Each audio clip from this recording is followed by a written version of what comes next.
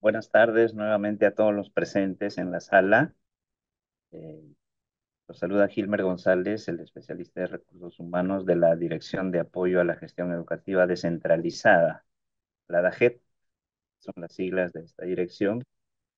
Y por encargo del nuestro director Miguel Burstein,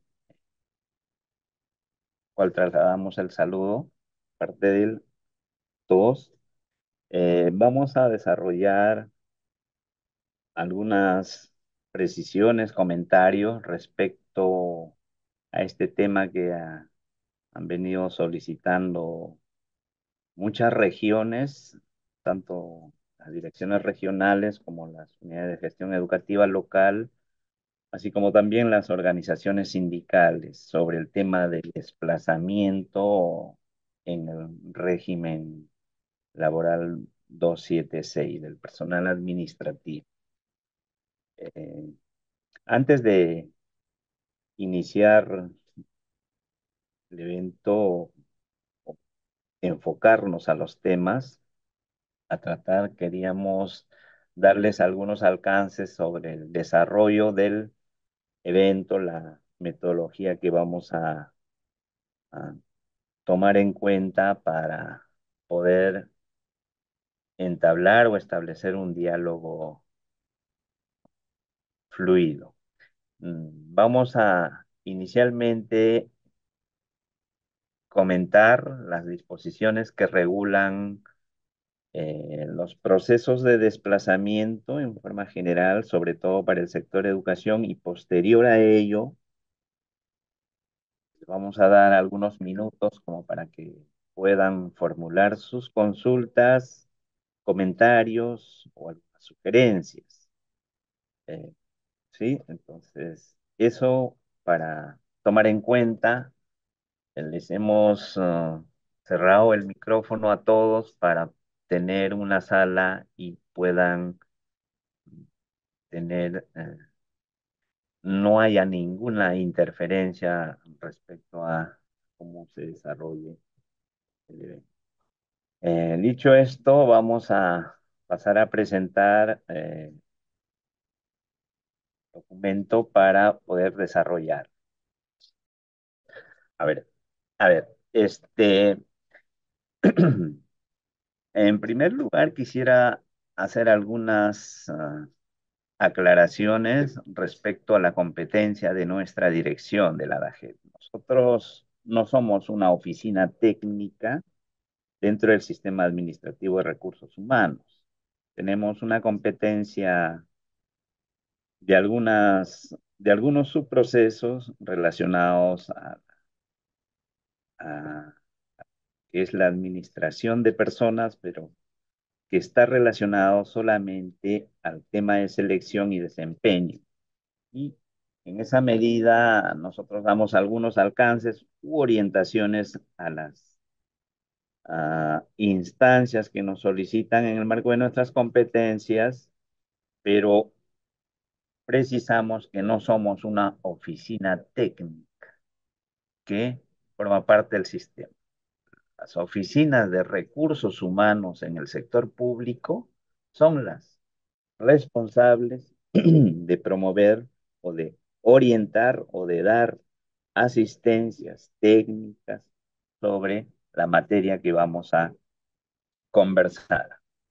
Dicho esto, en, el sector educación nosotros tenemos algunas disposiciones que datan de hace algún tiempo ya, tienen aproximadamente más de 20 años, más de 20 años eh, estas disposiciones que están relacionadas al desplazamiento.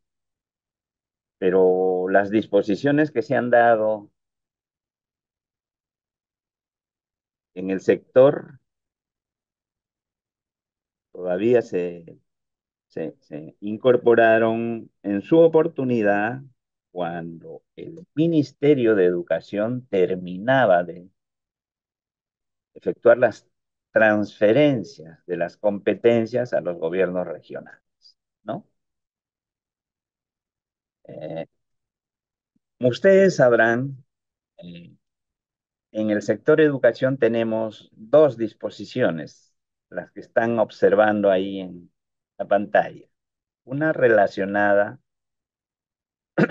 al desplazamiento respecto a la rotación, reasignación, permuta y la otra respectiva al ascenso. La primera es la RM639 del 2004.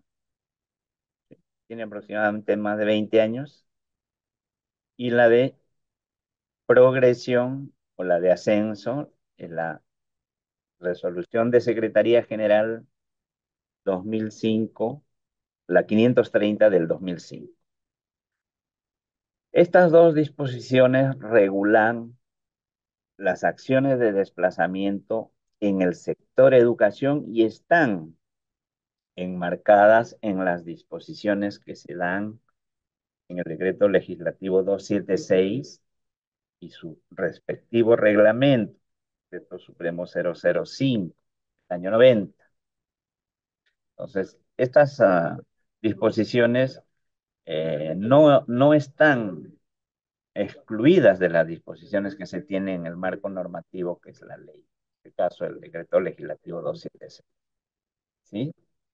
Eh, vamos a hacer acá un pequeño repaso respecto a cómo está organizada la carrera administrativa, ¿no? La, como señala la norma, está conformada por los tres grupos, ¿no?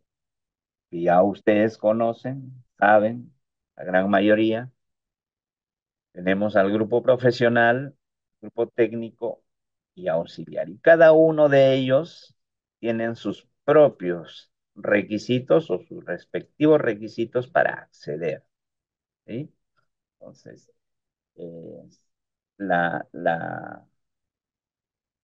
el decreto legislativo 276 estableció para cada uno de estos grupos ocupacionales los niveles de carrera, un conjunto de niveles de carrera correspondiente. Entonces, eh, en el año 90, producto de la transición de anterior régimen del decreto ley 11377, que era la ley del régimen del servicio civil, eh, se tenía que pasar al decreto legislativo 276. El decreto legislativo 276 se aprueba el año 84. Entonces, en el año 90 se da la transición, la transición de pasar de lo que anteriormente eran los subgrados y grados a lo que eran los niveles de carrera y los niveles remunerativos. Vamos a mostrarle acá para que vean. Un momentito. La norma que regulaba. Entonces, no sé si se ve. A ver, me confirmas este. Tenemos ahí el decreto supremo 022 del año 90. ¿Tienen a la vista? Dice la ubicación en los niveles de carrera a los servidores en la administración pública. Y esta norma señalaba los criterios, cómo se debía incorporar al personal de ese entonces que ostentaban grados y subgrados a niveles de carrera con sus respectivas categorías remunerativas. ¿Sí? Vemos ahí un ejemplo para el grupo ocupacional profesional. Vamos a hacer así pequeño resumen rápido como para que se, se involucre. ¿Sí? El grupo profesional establecía que antes de entrar en detalle, debíamos definir que el grupo profesional estaba compuesto por siete niveles, niveles de carrera. ¿sí? Niveles de carrera. Y señalaba la norma que los que tenían hasta, hasta siete años de tiempo de servicios, ¿sí? Se les ubicaba en el nivel 3 y con la categoría o con el nivel remunerativo A y B, o B, cualquiera de ellos, dependiendo. Fíjense que habían tres componentes para ubicar al trabajador de ese entonces que ocupaba una plaza en el grupo profesional que tenía hasta siete años en el nivel 3, en la categoría remunerativa A o B. Y así sucesivamente veníamos los que tenían de 8 a 13 años en el nivel 4, los que tenían de 14 a 19 años en el nivel 5, los que tenían 20 a más años en el nivel 6. ¿Sí? Fíjense y por favor quisiera que se lo graben. Niveles de carrera. Y acá a la izquierda tenemos niveles remunerativos. ¿Qué ha pasado? Esto no se llegó a implementar en su totalidad. Lo, que, lo único que se llega a implementar son las categorías remunerativas, esto que estoy señalando, que es el ejemplo del grupo profesional. ¿Sí? Entonces, al haberse implementado los niveles remunerativos, remunerativos nada más, entonces venimos trabajando sobre ello. ¿Sí? Entonces, eso para que tengan en claro. No tenemos, no tenemos los niveles de carrera. Y si ustedes revisan la norma, los niveles de carrera están definidos para cada grupo ocupacional. Para el profesional tenemos ocho niveles, para el técnico diez niveles de carrera y para los auxiliares siete. Actualmente no los tenemos en el régimen de la 276. Repito, como les habíamos mostrado, solamente existen las uh, categorías o otros lo denominan niveles remunerativos. Cada grupo ocupacional tiene los niveles remunerativos que, hemos, que les estamos mostrando ahí. ¿Sí? En el caso de educación, cuando se produce esa transición de la homologación en los años 90 y por acuerdo entre el Ministerio de Educación y la organización sindical FENTASE y el CITME, si no me equivoco, se acordó que en la sede central o en el sector educación, perdón, solamente se, se implementen los niveles remunerativos hasta la letra E en cada grupo ocupacional. ¿Sí? Entonces, eso es lo que se acordó en su oportunidad. Y producto de ello es que eh, en nuestros sistemas ubicamos eh, trabajadores con esos niveles remunerativos y posterior a ello ya se han ido incorporando, creo, las otras, la última categoría que es la F. Entonces, está de más señalar que cuáles son los requisitos para acceder a cada grupo profesional, grupo ocupacional, perdón. Ahora bien, tenemos la resolución ministerial 639 que aprueba varios, varias acciones de desplazamiento. Estas acciones de desplazamiento que habíamos señalado también están definidas en el manual normativo de, de desplazamientos que hasta ahora tiene vigencia la del INAP, ¿no? La 012 del 92, 013, 012 del 92, que aprueban las, la- los, ocho, los ocho tipos de desplazamiento. Entre ellos está la rotación y es, el concepto es similar al que establece el manual normal, ¿no? La rotación, en resumen, en resumen, eh, es el desplazamiento de un servidor al interior de la entidad, ¿no? Pero acuérdense que en el 2004, pues, eh, se definía como entidad a la institución educativa incluso, la UGEL era, entonces se estableció la dos tipos ahí de rotación interna y externa.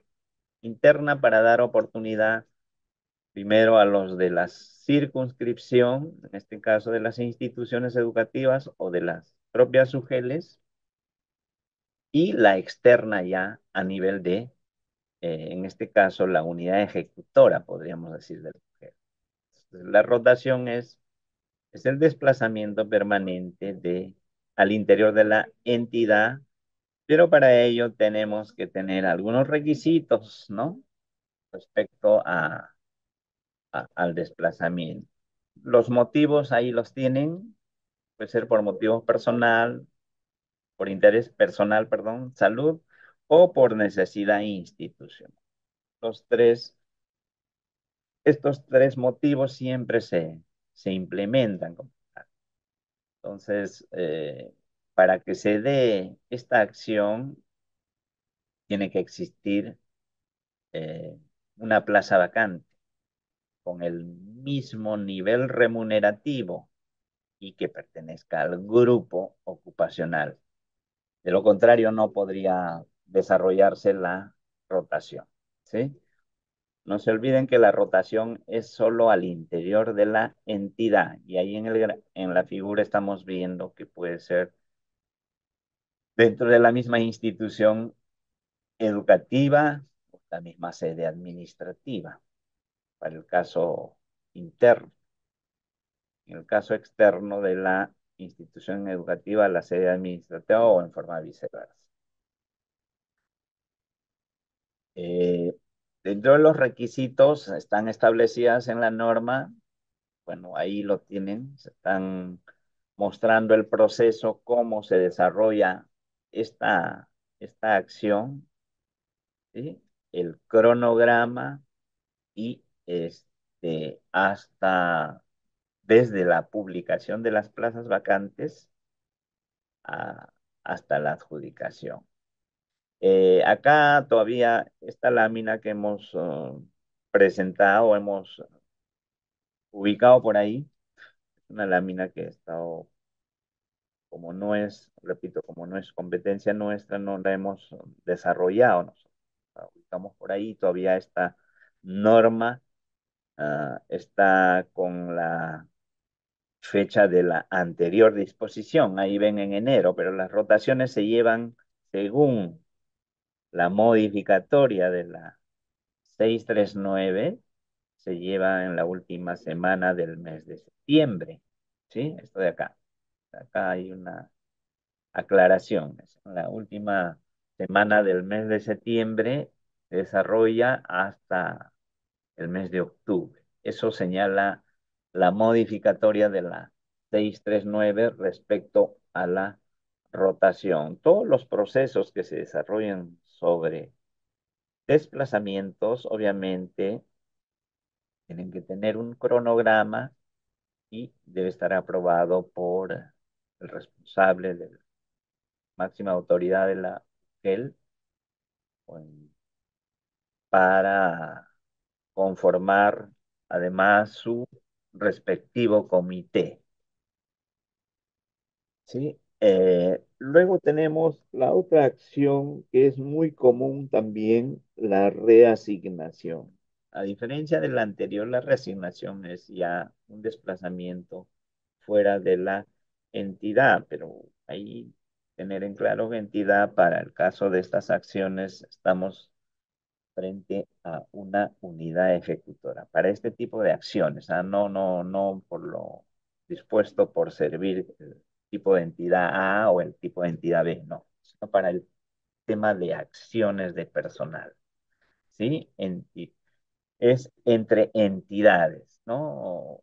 La reasignación, al igual que la rotación, es un desplazamiento horizontal, o sea, voy a una plaza con igual, igual característica en cuanto a aspecto remunerativo. No puedo ir a ganar más ni menos. La plaza tiene que tener el mismo nivel remunerativo, pertenecer al mismo grupo ocupacional, pero no necesariamente podría ser el mismo cargo.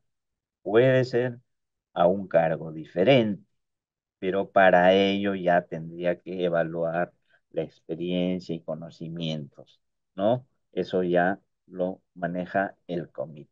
La reasignación se realiza por a petición o interés personal o también por Sí, ahí hay una disposición del artículo 80 de la norma, dice que no procede la reasignación a sedes administrativas, pero eso está cuando estuvo vigente, pues, la RM 1174, si no me equivoco, del año 94, creo que sí, sobre la que disponía el proceso de reasignación, rotación antes de que se diera esta norma. Ahí, este, igual que la rotación, o sea, señalamos los procesos tienen un cronograma y la norma señala pues que debería iniciarse entre mayo o desarrollarse entre mayo y junio. Eh, hemos recibido muchas consultas respecto a, estos procesos, ¿no? Estos procesos que están señalados en las diferentes disposiciones. Eh, estas disposiciones, como les señalé en un principio, datan de hace más de 20 años, cuando no existía servir, cuando el ministerio daba todas las disposiciones a nivel nacional, tanto para docentes como para administrativos. Entonces, eso todavía se viene arrastrando, arrastrando en el sentido en las disposiciones pero ante la presencia ya de los gobiernos regionales, esa responsabilidad, más allá de lo dispuesto en la norma, que sí tenía un efecto determinante antes de la, implementación de este nivel de gobierno, es que las, uh, las DRES UGELES pueden aprobar sus cronogramas en función, en función a las necesidades que tienen, porque el tema de acciones de personal en el personal administrativo, comparando a lo que hace una UGEL o una DRE, en este caso, eh, respecto al personal docente la mínima parte. Esa medida ustedes, como DREU, GELES, tienen actividades propias programadas que desarrollan durante el año fiscal y probablemente, probablemente las fechas establecidas en las normas que se dieron hace 20 años no puedan ser cumplidas estrictamente, pero eso no significa que dejen de hacer estos procesos. Y obviamente estos procesos se desarrollan siempre con la existencia de plazas vacantes. Obviamente, si no hay plazas vacantes, no podría, no podría lanzar algún proceso para ofertar la participación de los trabajadores administrativos. Entonces, dicho esto, que la 639 obviamente señala que tentativamente debería hacerse entre mayo y junio. ¿Sí? Entonces, hay situaciones que podrían atenuar esto para poder extender, tal vez adelantar, pero más, más que todo es extender. Entonces ahí tienen el flujo de el desarrollo de la reasignación. Que deben tener sus propias etapas donde tengan que presentar, reclamar, resolver los reclamos y este, adjudicar, ¿no? Ahí incluso ponen las fechas, las fechas uh, donde deberían desarrollarlas. Esto ya responde a las necesidades de ustedes para poder desarrollarlas, en el sentido de que la rotación está definida para realizarse entre los meses de septiembre, octubre, no, no me voy a, a poner a realizar en enero, febrero, no, no. En esas fechas generalmente se hacen los contratos. Ya. Después también tenemos otro, otro tipo de desplazamientos que son las permutas. Las permutas obviamente es el intercambio de, de posiciones de dos servidores que tienen todas las mismas características. A diferencia de los otros, a casi todo tiene que ser igual. ¿Sí? La plaza de origen con la plaza de destino tienen que ser idénticas. Idénticas en el sentido de que desde el nombre del cargo, el nivel remunerativo, obviamente los cargos al ser iguales están en un mismo grupo ocupacional, ¿sí? La categoría remunerativa, la jornada laboral, la jornada administrativa tiene pues sus 40 horas, así que no hay problema. Eh, esto se puede dar en cualquier fecha, no hay problema. Solamente es cuestión de ponerse de acuerdo y la entidad, una de las entidades involucradas es la que emite la, resolución. La resolución del desplazamiento por permuta. Eh, ahí vemos que el, para cualquier desplazamiento permanente, el personal administrativo 276 debe contar como mínimo con un año de permanencia en el último cargo. Efectivo, efectivo significa pues eh, desarrollando labores, no estar haciendo, no estar en licencia con goce o licencia sindical o sin goce, no. Eso para tener en cuenta. ¿ya? Eh, después tenemos ahí algunas, algunas precisiones respecto a los uh, requisitos y caso de, no aceptar también este, este desplazamiento, podrían desistir de aceptar, ¿no? Ahora, acá tenemos la otra resolución, que es la de Secretaría General 530 del 2005, que eh, imparte los lineamientos respecto al llamado ascenso. ¿sí? Para eso esta resolución aprueba una directiva, la 106, que en su oportunidad la hoy unidad, Oficina de Gestión de Recursos Humanos y antes era la unidad de personal, absolvía estas consultas y, daba algunos alcances respecto a, a lo que es el ascenso en la carrera administrativa.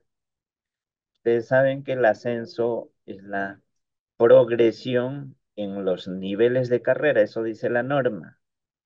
Y les manifesté al principio, creo, de que cada grupo ocupacional está compuesto por niveles de carrera. Ocho en el profesional, diez en el técnico y siete en el auxiliar. Cada nivel de carrera, cada nivel de carrera tiene un tiempo de permanencia mínima para poder ascender. Pero, como les había señalado, en el sector educación, al menos podíamos hablar por ellos, por él, es que no tenemos los niveles de carrera. Porque si haríamos una homologación de los niveles de carrera con los niveles remunerativos, no coincidirían. Porque en los niveles remunerativos tenemos para cada grupo seis, desde la A hasta la F. Profesional A, profesional F, seis. En el técnico también tenemos seis, de la TA hasta la TF. Y en el auxiliar igual. Y si homologaríamos a los niveles de carrera, no coinciden, porque si vamos los seis del profesional con los ocho del profesional, no coinciden. Entonces, mal haríamos, igual, ¿ah? igual con el técnico. El técnico tiene 10 y el auxiliar 7. Mal haríamos simplemente por deducción lógica o por principio lógico decir de que los niveles de carrera son los niveles remunerativos. ¿Mm? Ahí para una precisión creo que vamos a mostrarle, creo que tenemos por acá. Un momentito. Ya. Ahí tenemos un cuadrito. Bueno, lo hemos hecho en Excel. La carrera administrativa tiene 14 niveles. El profesional 8, 10 el técnico y 7 el auxiliar. Y los niveles o categorías remunerativas son estas. Son 6. Acá también son 6. Acá también son 6. Y si compararíamos lo que les decía hace un momento, si comparamos esto de acá con esto de acá, no coinciden. ¿Sí? No coinciden porque les expliqué el decreto supremo del 022 del año 90. Lo único que se llega a implementar es esto. Esto de acá, que tenemos los niveles remunerativos, más no así los de carrera. Pero ¿qué dice la 276? Que el ascenso se da acá. Acá donde les estoy mostrando el ascenso acá. No acá. El ascenso no se da acá. ¿Por qué no se da acá? Porque acá estaríamos haciendo una recategorización de plaza y estaríamos contraviniendo lo que señala, lo que el artículo 6 de todas las leyes del presupuesto de todos los años. ¿Sí? Entonces, ¿qué dice nuestra norma, la 106? La 106 establece el mal llamado ascenso en un concurso de plazas vacantes. ¿Sí? En otras palabras, se ofertan plazas vacantes con una determinada, o un determinado nivel remunerativo y conforme al 31, creo que es. Sí, 31, no sé. A ver. Sí, el 31 establecen los requisitos. Los requisitos para ascender. Ascender. Y ese ascenso, entre comillas, es para postular a otra plaza, no en la misma plaza. Porque el ascenso debería ser en la misma plaza como sucede con el docente. ¿El docente cambia de plaza para ascender? No. En la misma plaza asciende. Segunda, tercera, cuarta, quinta, sexta escala, la misma plaza. ¿Mm? Entonces, ahí tenemos el tema del ascenso en el sector educación. ¿Y qué dice Servir respecto a esto? Servir lo que hace señalar en sus informes técnicos lo que señala la 276 y su reglamento respecto a la progresión y al cambio, al cambio del grupo ocupacional. Pero si yo no he implementado los niveles de carrera, ¿cómo podría hablar de ascenso?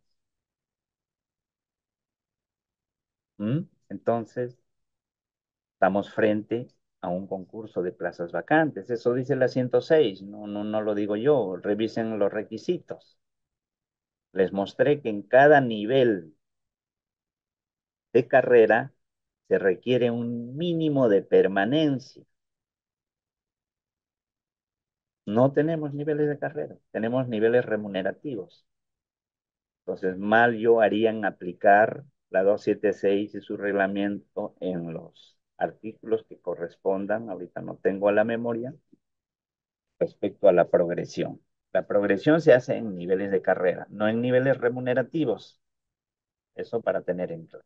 Pues acá tenemos, conforme a la 106, se ha definido el proceso para, yo siempre lo he llamado, es un concurso de plazas vacantes para mí, esto del ascenso de la 106. Cada vez que les damos algunos alcances o orientaciones, señalamos como tal. ¿Sí? Ahí señalan, presentación, en el caso de los cargos de los, del grupo profesional, obviamente se diferencia de los técnicos o auxiliares, ¿no? Que hay que aplicar una prueba de conocimientos y todo ello. En un cuadro de méritos después del proceso de evaluación, obviamente los reclamos, absolverlos y publicar la adjudicación de las plazas, ya sea ocupadas o las que queden vacantes. ¿Ya?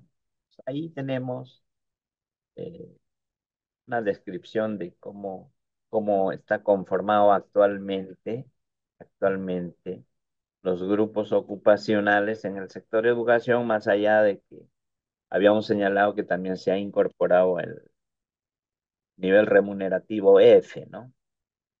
F, ¿sí? Entonces, estaríamos hablando de seis niveles remunerativos por cada grupo ocupacional, desde la A hasta la F. El ascenso establece un concurso de méritos, pero este ascenso que tenemos en el sector de educación es eh, obviamente por concurso de méritos, pero tomando como referencia, como referencia otro documento de gestión que es el clasificador de cargos, donde se establecen los perfiles para el puesto al que voy a acceder.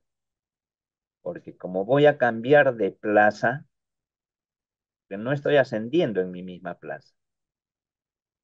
¿Sí? Porque al no tener implementados los niveles remunerativos, no hago la previsión de las plazas que tendría que ofertar para un ascenso en, eh, en un año fiscal. La norma también señala que debemos hacer hasta dos ascensos en el año fiscal.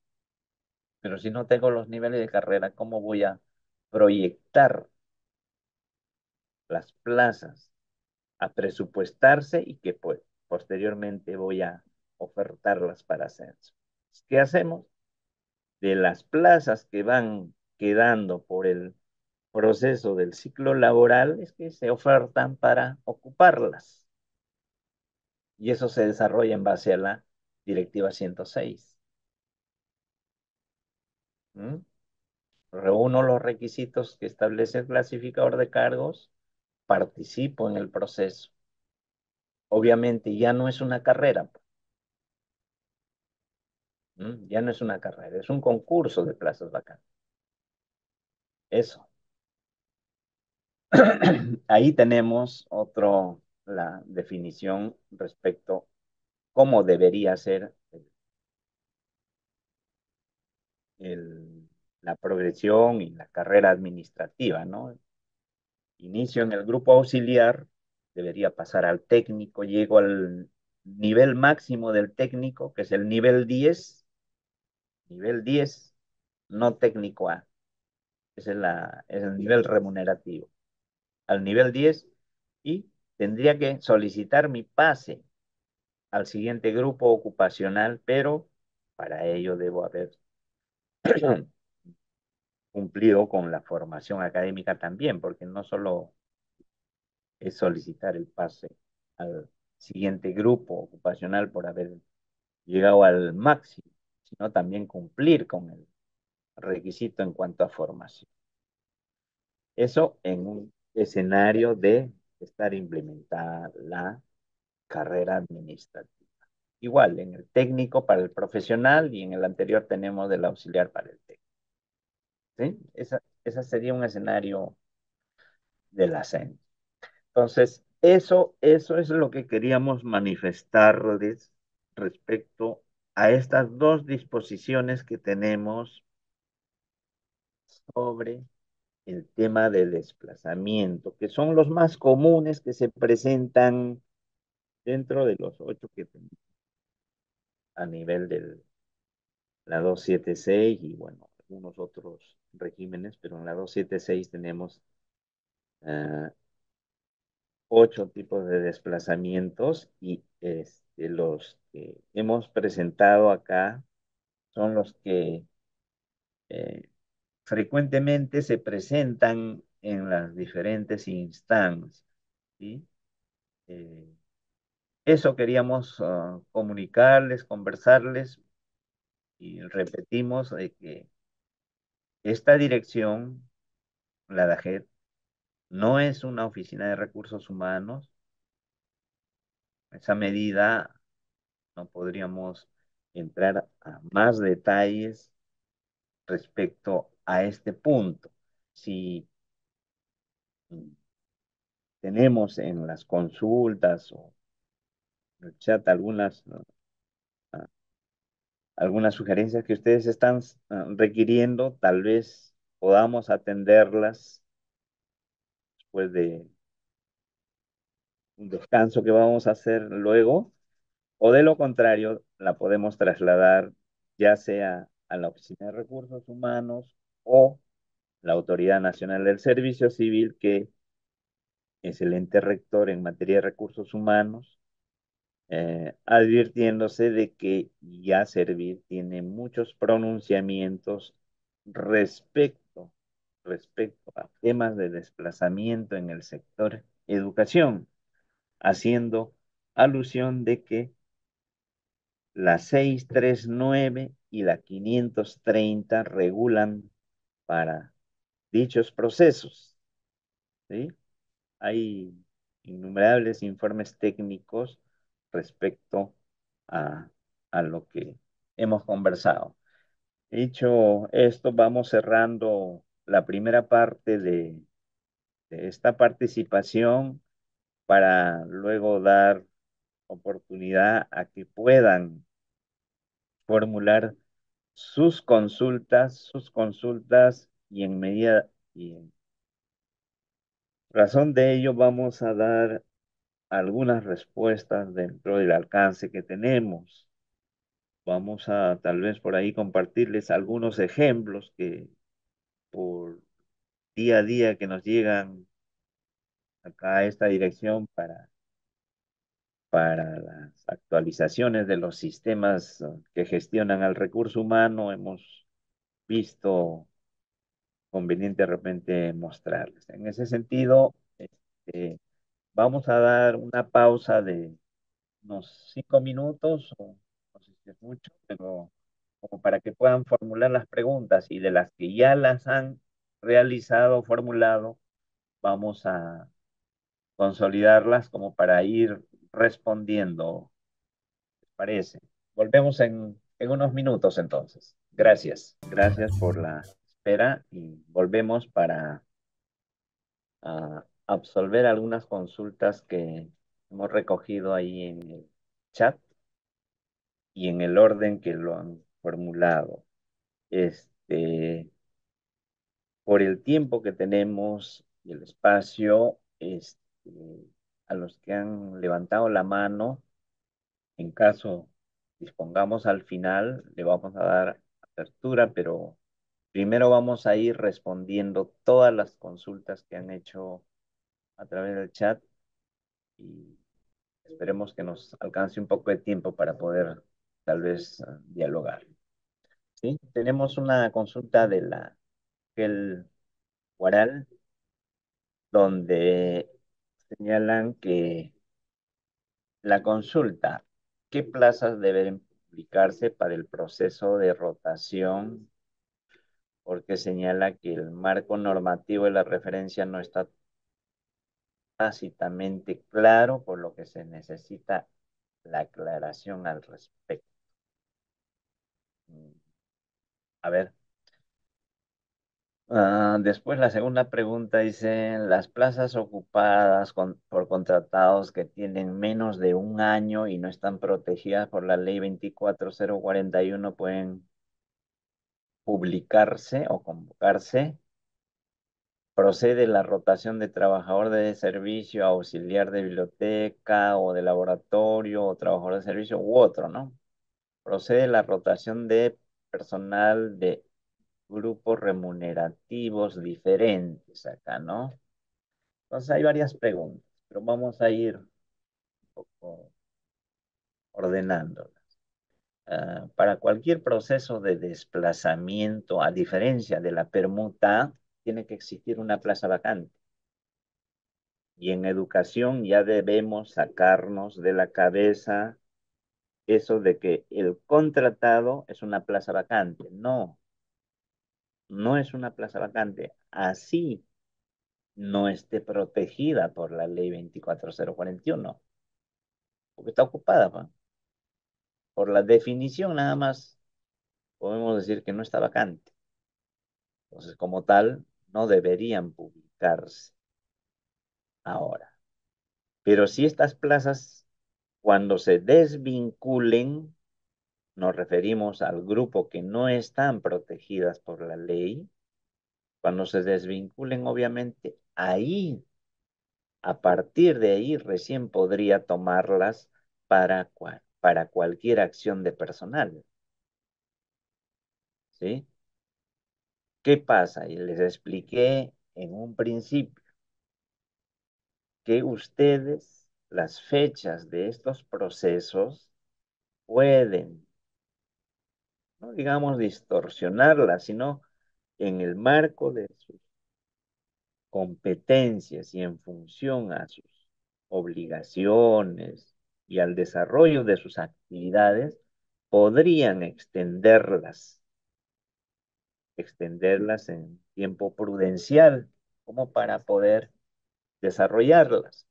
En ese sentido, la rotación, cuando se produce? Los meses de octubre, se cierra en octubre, coincide casi con los contratos. Yo la rotación podría hacerlo en esa fecha, en esa fecha porque ya vamos a estar próximos a finalizar el año y probablemente el ocupante de la plaza que no está protegida en diciembre ya tendrá que dejarla. Pero a pesar de ello, las Ah, aclaraciones que ha hecho tanto Servir como la Oficina de Recursos Humanos, ¿sí? Respecto a qué es una plaza vacante, ¿sí? Podríamos mostrar ahí en el, en el informe. Tenemos, a ver, un segundo. No sé si, si se puede ver. Ahí tenemos un informe 596 de la Oficina de Recursos Humanos del Minedu, donde concluye, donde concluye que en el 2.14, no sé si se ve, el 2.14 señala de que, que no es plaza vacante aquella que se encuentra ocupada por un servidor contratado que realiza labores de naturaleza permanente, aun cuando no haya alcanzado la protección de lo establecido en la ley 24. Por tanto, estas plazas no deberían ofertarse para ningún tipo de proceso. ¿Sí? Entonces, ahí por el, por el chat también se le va a compartir este informe para que te tomen conocimiento. ¿sí? Lo que ustedes tienen que es eh, ver o evaluar o determinar las fechas como para poder manejar, ¿sí? Para manejar esta situación. Eso para ah, comentarles respecto a esa consulta. Después teníamos la, siguiente pregunta. A ver, un ratito. A ver. Vamos a ver la siguiente. Mira. Eh, bueno, la pregunta 2 de la el 10 es la misma respecto a las plazas protegidas por la ley 24041. Eh, las rotaciones para determinar el cargo de destino diferente al de origen, tendría que verificar el término similar, similar, ¿dónde lo verifico? En el clasificador de cargos, las funciones que desarrollan esos cargos, ¿sí? Más allá de ello también es la experiencia que tenga el trabajador, ¿sí? Experiencia o conocimiento respecto al cargo que está solicitando porque obviamente en el clasificador de cargos probablemente no encontremos alguna afinidad en cuanto a la función y probablemente se desestime, pero tenemos la opción de que el trabajador pueda acreditar algún conocimiento o experiencia respecto al cargo que está solicitando. Nos referimos cuando los cargos a rotarse son diferentes, pero pertenecen al mismo grupo, ¿no? Y la pregunta última es respecto a la rotación. Les había señalado que el desplazamiento de la reasignación y la rotación es un es horizontal, que significa que tengo que ganar lo mismo. Si la plaza de origen con la de destino tiene que ser igual en cuanto a remuneración, no puedo rotar de una categoría remunerativa superior a una inferior o viceversa. Eso ya, eso no, eso no procede en la rotación ni en la reasignación.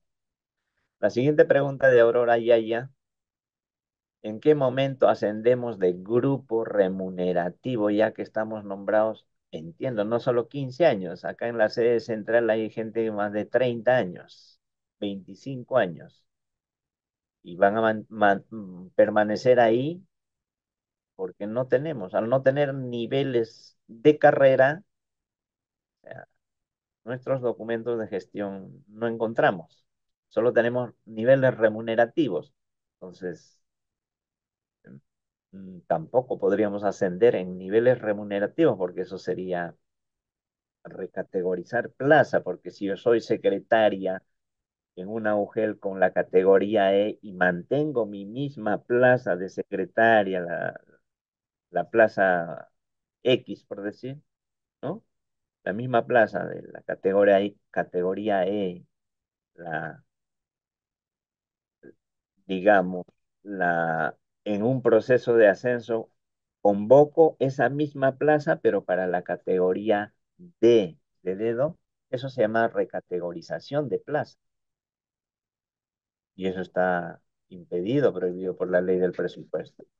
Entonces, respecto a la consulta de Aurora Yaya, si me han escuchado, la única opción que tiene el trabajador es cuando la pla- alguna plaza de mayor jerarquía, digamos, ¿no? Quede vacante, puedas acceder ahí. Pero en tu misma plaza no vas a poder, no, no vas a poder ascender, ¿sí? Eh, tenemos la consulta de Mejía, dice acá, no sé de es. Dice, ¿cuándo se considera una plaza vacante? Ya lo dijimos, la plaza es vacante cuando no hay nadie. Ha cesado y la plaza en el Nexus se encuentra vacante. Alguien ha cesado, fallecido y no hay nadie en esa plaza. Vacante. Pero si hay un contratado, ya no es vacante. Si está contratado, estará por un año o está hace algún tiempo, pero ya está ocupado. Eh, ¿cuándo se consideran labores de naturaleza permanente? Eso están en los, uh, en los documentos de gestión. Los documentos de gestión en las entidades, de eso sí podemos hablar, porque esa es competencia de la DAGE. ¿Sí? Están en el ROF, MOP, o manual de eh, organización y funciones, que en algunos casos todavía están vigentes, ¿sí? Y ahí están definidas las actividades de los órganos o unidades orgánicas, ¿sí? Y el que desarrolla esas actividades es el que hace actividades permanentes. Entonces, habría que revisar esos documentos para definir si lo que yo hago es de naturaleza permanente o simplemente es una eventualidad o transitoria, ¿no? Después tenemos a Ávida de la UGEL Antonio Reyes, creo que si no me equivoco. ¿A qué se debe que algunas DRES UGELes no llevan a cabo el proceso de reasignación? El tema es de que acá la autonomía pues hace de que ya el ministerio no tenga esa facultad de combinar a las DRES y UGELes en el aspecto administrativo, ¿eh? pero en el tema docente sí, en el tema docente sí tiene competencias. Entonces dice que no llevan a cabo la reasignación según la norma vigente y los 276 no pueden desplazarse porque realizan, no realizan cronograma y menos, menos cuentan con comité. Peor, ni siquiera publican plazas vacantes. Pero para eso están los trabajadores que tienen que estar atentos a qué plazas se van sucediendo las vacancias. También los, los que están ahí de cerca son las organizaciones sindicales que tienen que estar al tanto de todo ello e impulsar o, o, sugerir o estar haciendo recordar a la gestión, en este caso a las mujeres, para que se lleven a cabo estos procesos, ¿no? Mm. Para ello tienen que existir, pues, naturalmente las plazas vacantes. Después, eh, por acá pregunta eso, ¿no? Lo que pregunta Ávida, ¿no? Cuando se produce una vacante, una vacante, ¿qué hacen? Por no decir todos, pero sí la gran mayoría, porque nosotros como les damos asistencia y facilitamos en estos, eh, en las plataformas para la gestión del recurso humano, tanto Nexus, planillas y Mining, lo primero que hacen es, este, quiero que me lo registren para contratar. Nadie, casi muy pocos, muy pocos por ahí dicen, ¿sabes qué? Estamos, hemos, hemos reasignado, hemos rotado, o se ha producido un ascenso acá en esta plaza. Nada, casi muy pocos, poquísimos. Todos lo primero que hacen es contratar. Al contratar en una plaza vacante, ya estás vinculando a una persona que probablemente hasta supere el año. Y al superar el año, esa plaza ya no la puedes tocar. Entonces, eso, e, e, e, ese chip tienen que cambiar en las... Más aún ustedes que están en el Nexus, planillas, tienen que estar alertas, atentos. Cuando se produzca una plaza vacante, lo que tienen que hacer es eh, ocuparla mediante desplazamiento. El que venga de afuera a la calle, que espere un ratito todavía. ¿Sí? Eso es lo que tienen que hacer. Hay otra consulta de Johan. Johan mmm, sobre la rotación. La rotación ya les dijimos que es desplazamiento permanente en, al interior de la, en este caso, unidad ejecutora. Unidad ejecutora es el, la UGEL y las instituciones educativas, o la DRE y sus institutos, ¿no? Entonces, eh, normalmente vemos acá siempre y nos hacen llegar resoluciones para registrar en los sistemas donde ha reasignado de un colegio a la sede lo he reasignado del colegio Tupac Amaru al colegio Ciro Alegría en la misma mujer. Eso no es reasignación, es rotación. se utiliza mal también el, concepto, la acción, ¿no? Este, ¿habrá ascenso? Pregunta ¿habrá ascenso de nivel y cambio de grupo ocupacional?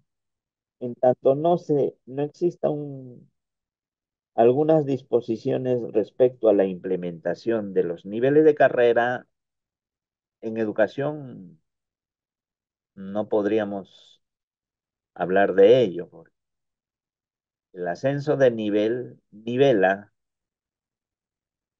es, según la norma, debería ser manteniendo mi, mi plaza ¿sí? y voy ascendiendo. Pero ya me van dando más responsabilidades, obviamente, pero eso no existe. El cambio de grupo ocupacional solamente se da cuando hay alguna plaza vacante en otro grupo ocupacional y postulo. ¿Y qué pasa? Y a cambio de plaza. No estoy en la misma. ¿Ya? Eh, la mujer Chulucanas pregunta en qué meses se dan los ascensos. Ya se había señalado, ¿no? Abril, mayo. Es referencial. Acuérdense, podrían hacerlo junio o marzo, tal vez, ¿no? Dependiendo. ¿Sí? Que no colisionen con otras actividades que tienen. Eh, dice Víctor Tupayachi, ¿se puede adjudicar aquellas plazas menores de un año que no tienen protección? El informe 596-2023 viene ocasionando innumerables problemas porque ya no quedan plazas vacantes donde reasignarse o rotar a pesar de que esta disposición que es de menor rango que la RM 639. El informe 596 ha sido una consulta que hizo una UGEL a la Oficina de Recursos Humanos. Lo que ha hecho Recursos Humanos es trasladar lo que señala servir. ¿Sí? Obviamente. ¿Pueden utilizar las plazas que tienen menor de un año? Dependiendo, eso, eso es relativo porque las, acuérdense que las plazas que tienen menor a un año ¿Cuándo culminan su vinculación? En diciembre. ¿Sí? ¿Y qué pasa si yo extiendo, extiendo mi fecha de rotación a los meses de noviembre y casi la quincena de diciembre? ¿Qué pasaría? ¿Mm? Estaría próximo a la culminación de esas plazas y probablemente podría, podría, digo, ¿no? Este, considerar estas plazas porque ya en 15 días, 15 días está desvinculándose. Pero por eso les señalé en, un principio, ¿no? Este, tienen que manejar los tiempos, las fechas como para poder, pero todo esto conlleva a que no priorizan sus procesos. Los procesos de desplazamiento deben anteponerse a la de contratos.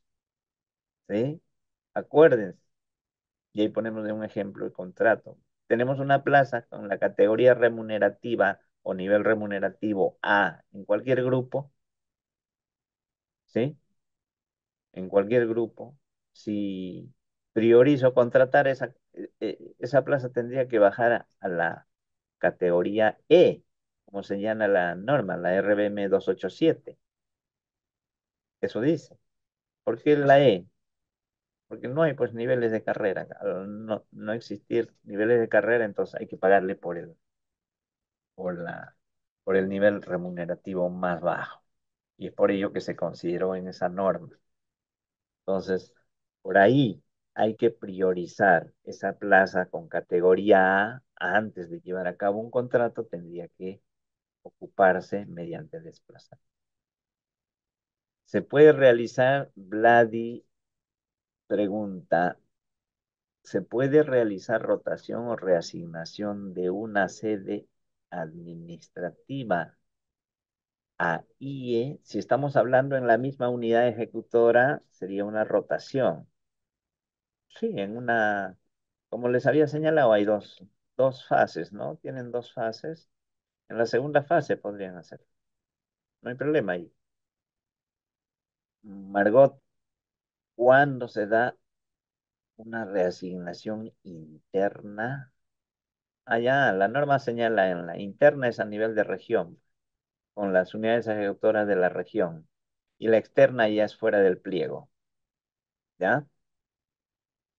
Eh, Mercedes, aclarar la parte de la norma donde indica un cargo igual o similar. Eso les había señalado hace algún momento respecto a que a un cargo igual o similar.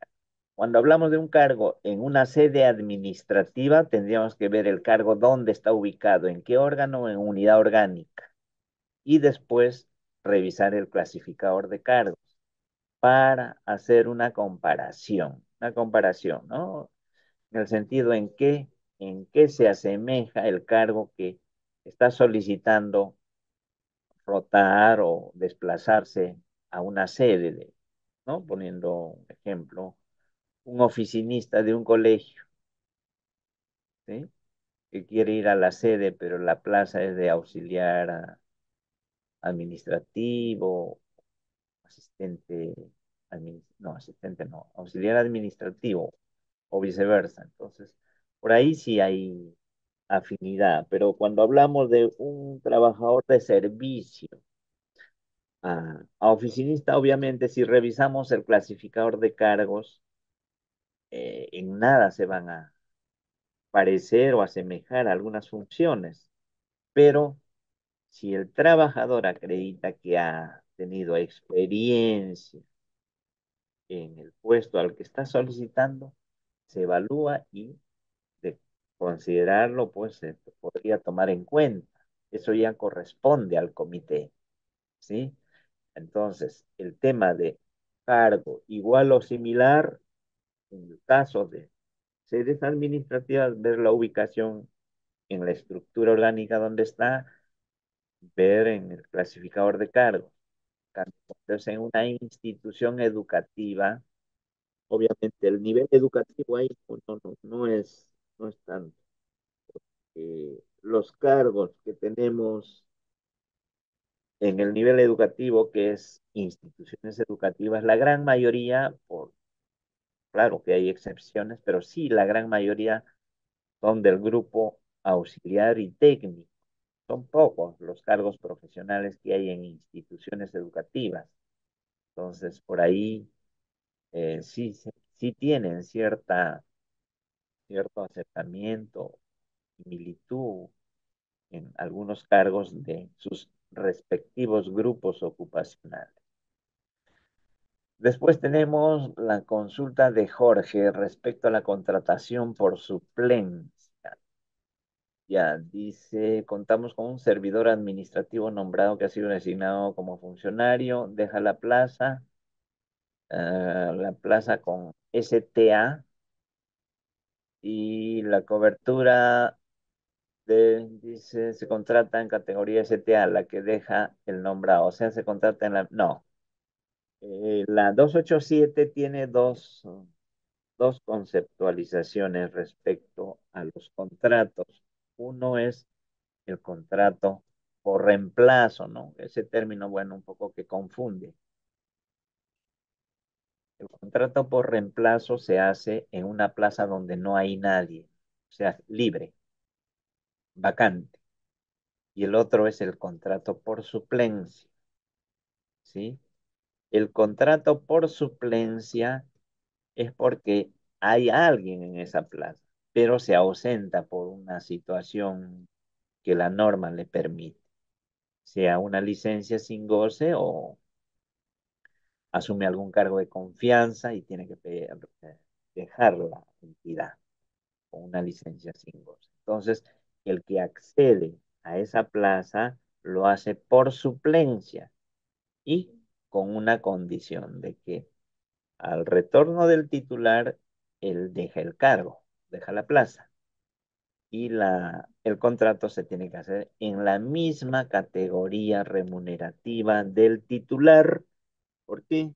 Porque en el AIR no se podría bajar la remuneración de esa plaza porque hay un nombrado que se ha ausentado temporalmente y no podríamos actualizar a un nivel remunerativo inferior.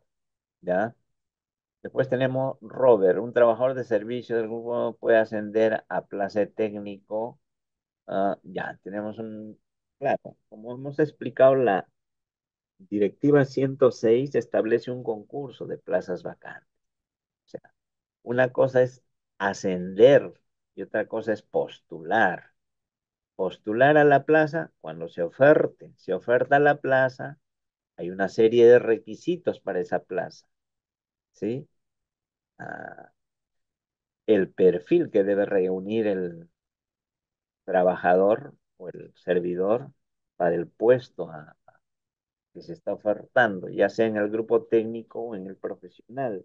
El hecho de estar en un grupo inferior, en un cargo de un grupo ocupacional inferior, no le imposibilita postular. Probablemente, probablemente digo que no vaya a adjudicar por la experiencia, porque los cargos de mayor jerarquía los grupos ocupacionales obviamente requieren no solo el mínimo requisito que es la formación académica, sino experiencia y conocimientos.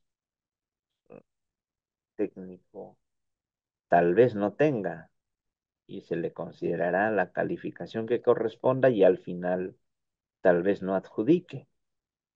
Por eso existe un cuadro para calificar y eso está establecido en la directiva 106. Entonces, más aún que en el grupo profesional se requiere adicionalmente la evaluación de conocimiento y una prueba de tú, ¿no? Eso señala la, la norma. Entonces, una cosa es ascender y otra cosa postular. ¿Ya, Robert? Gino Castro, Madre de Dios, ¿qué dice? Ahí tienen dos preguntas. Uh, ya lo dijimos. El tema de las, todas las plazas, y ahí esto va en forma general, todas las plazas que están al amparo de la 24041, 24041, no las puedo ya uh, digamos, usar para, para cualquier acción, porque está un contratado ahí y ya adquirió pues la permanencia, la protección y la estabilidad, digamos, entre comillas, y no puede ser cesado, salvo por un proceso disciplinario y todo eso, pero entonces esas plazas ya, otras palabras, son una especie de nombrados. No se pueden tocar para nada, porque el contratado, por ahí escuché, no sé si me equivoque, no le hemos usado esa plaza para desplazar a un nombrado y al contratado lo hemos puesto al otro lado. Eso está mal. No, el contratado está para una determinada plaza, no puede ser. La norma dice que no puede ser desplazado o puede destacarse o desplazarse el personal contratado. Eso señala la 287. ¿sí? Entonces, eso hay que tener en cuenta. Uh, después, ¿qué más tenemos, Gino? El proceso de rotación, ascenso debe darse antes del proceso de contratación. Eso lo manejan ustedes, por eso les había señalado la priorización de sus procesos. Imagínense que a diciembre lleguen con un bolsón de plazas con buenas, con categorías o con niveles remunerativos superiores a ley. Entonces, ahí sugerimos siempre que cada vez que una plaza vacante suceda, traten de coberturarla con desplazamiento. Desplazamiento porque si no llega diciembre y se van a quedar con plazas con nivel superior y al final por la necesidad o porque el director está poniendo que se contrate ya, ya, ya por la ausencia del personal y esa plaza va a terminar en la categoría E. ¿Sí? Entonces, ya, eso. ¿Qué más tenemos? Cristian Saavedra un servidor que ha sido contratado en una plaza vacante orgánica a partir del 4 de enero del 2024 al 30.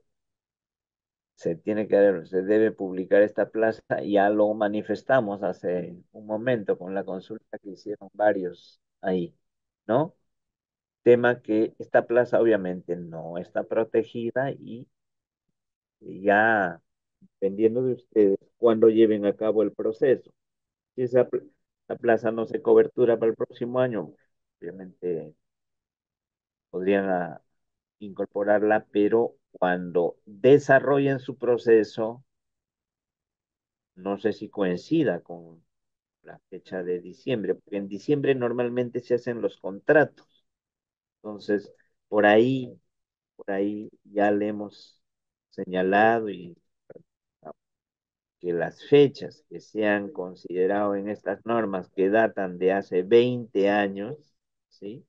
20 años, han sido también tomando en cuenta, tomando en cuenta lo que señala la 276 y la 005. Pero para educación se incorporó fechas, meses, en función a la programación también de actividades que eh, desarrollan propiamente las DRES UGL. ¿Sí? Entonces, eso para tener en cuenta. Mercedes dice, ¿puede darse el ascenso de una UGEL a cuando estamos? Sí.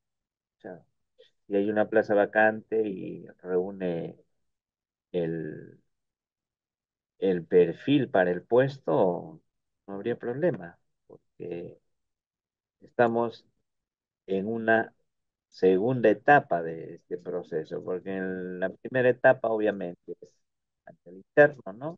La segunda etapa ya puedo postular donde hayan ofertas de plazas que no correspondan a mi eh, ámbito, a la unidad ejecutora. Piero pregunta, ¿por qué el personal administrativo sigue postergado? Eso se preguntan todos siempre, perjudicando a los administrativos de la zona rural. No pueden ser reasignados a pesar de tener el mismo... Sí, obviamente después, pero diferente categoría. No pueden reasignarse prestándole, prestándole para que los directores pongan su gente, pero ahí volvemos al comentario de algunos de los que antecedieron, ¿no?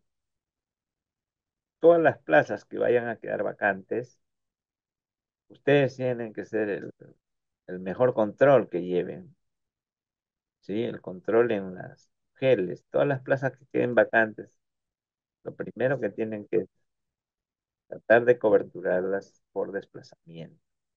Por desplazamientos para que haya oportunidad también de que el personal de instituciones educativas puedan acceder a esas plazas si son de sede administrativa o también las mismas instituciones educativas.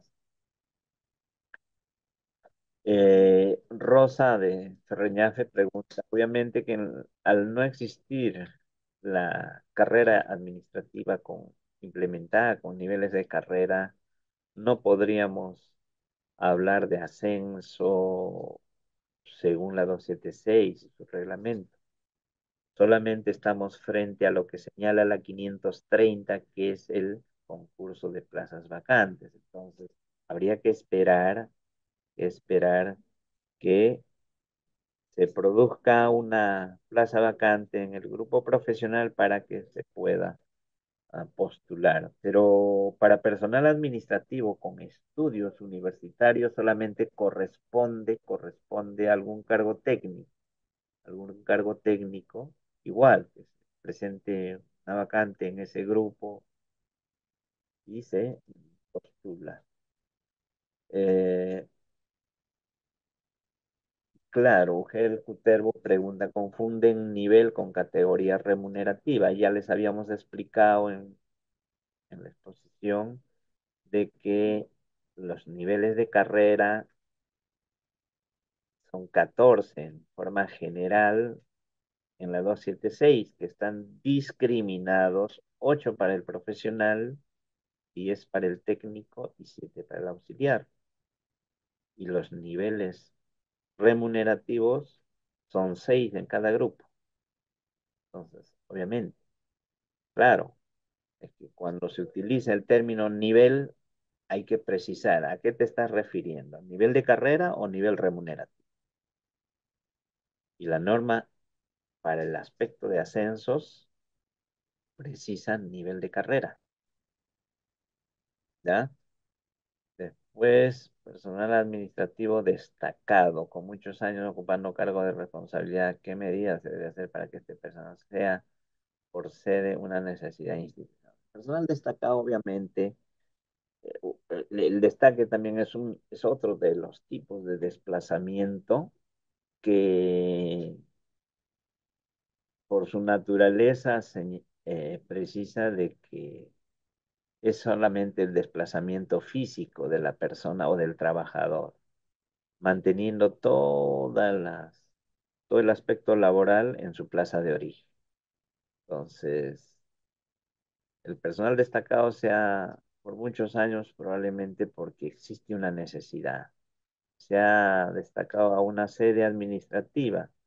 Entiendo que la cantidad de cargos que se tiene en su CAP provisional o CAP, esta, esta sede administrativa es insuficiente.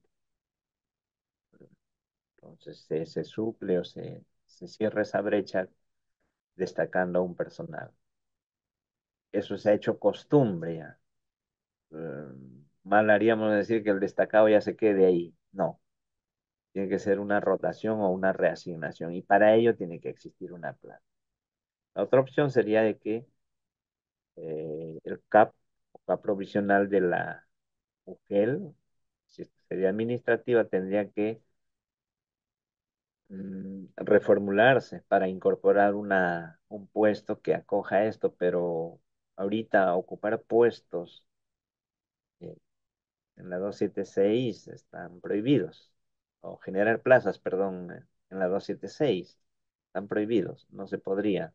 Entonces, lamentablemente el personal destacado tiene que esperar una opción de una plaza vacante para poder. Y tener en claro, ¿no? Que el personal administrativo que se tiene en el sector educación probablemente sea casi, casi el mismo de hace más de 20 años. Porque a diferencia del docente, el administrativo no ha tenido crecimiento. Se ha sustituido, estamos hablando de la 276. ¿ah? podemos decir, no, si en mi mujer hay bastante CAS. Claro, sí. Se han sustituido o se han complementado con puestos CAS a raíz de que este régimen de la 276 se ha, se ha cerrado, ¿no? No se generan plazos. Eso para comentar. Después tenemos a Jenny, Jenny Clemente de Churcampa. ¿Podría ser posible al nivel del mío se emita disposición cronogramando? No se puede porque nosotros no somos instancia administrativa. Les dije que ustedes dependen de su gobierno regional, de su DRE, y ellos son los que tienen que definir. ¿Y qué pasa si el minero da una disposición y ustedes no pueden cumplir? Ustedes tienen que organizarse tienen que programar sus meses. Dremo Quegua pregunta si la entidad no convoca el proceso de ascenso, ¿cuál es el procedimiento a seguir? Hay muchas acciones que eh, poner en conocimiento al órgano de control institucional, eh, al, en este caso la Dremo Quegua, la GRE, la gerencia, comunicar al gobierno regional. ¿Sí? Ahora, no convoca el proceso de ascenso, ¿por qué motivo? ¿Porque no hay plazas o porque no quiere? Yo me estoy refiriendo a la última parte, porque no quiere.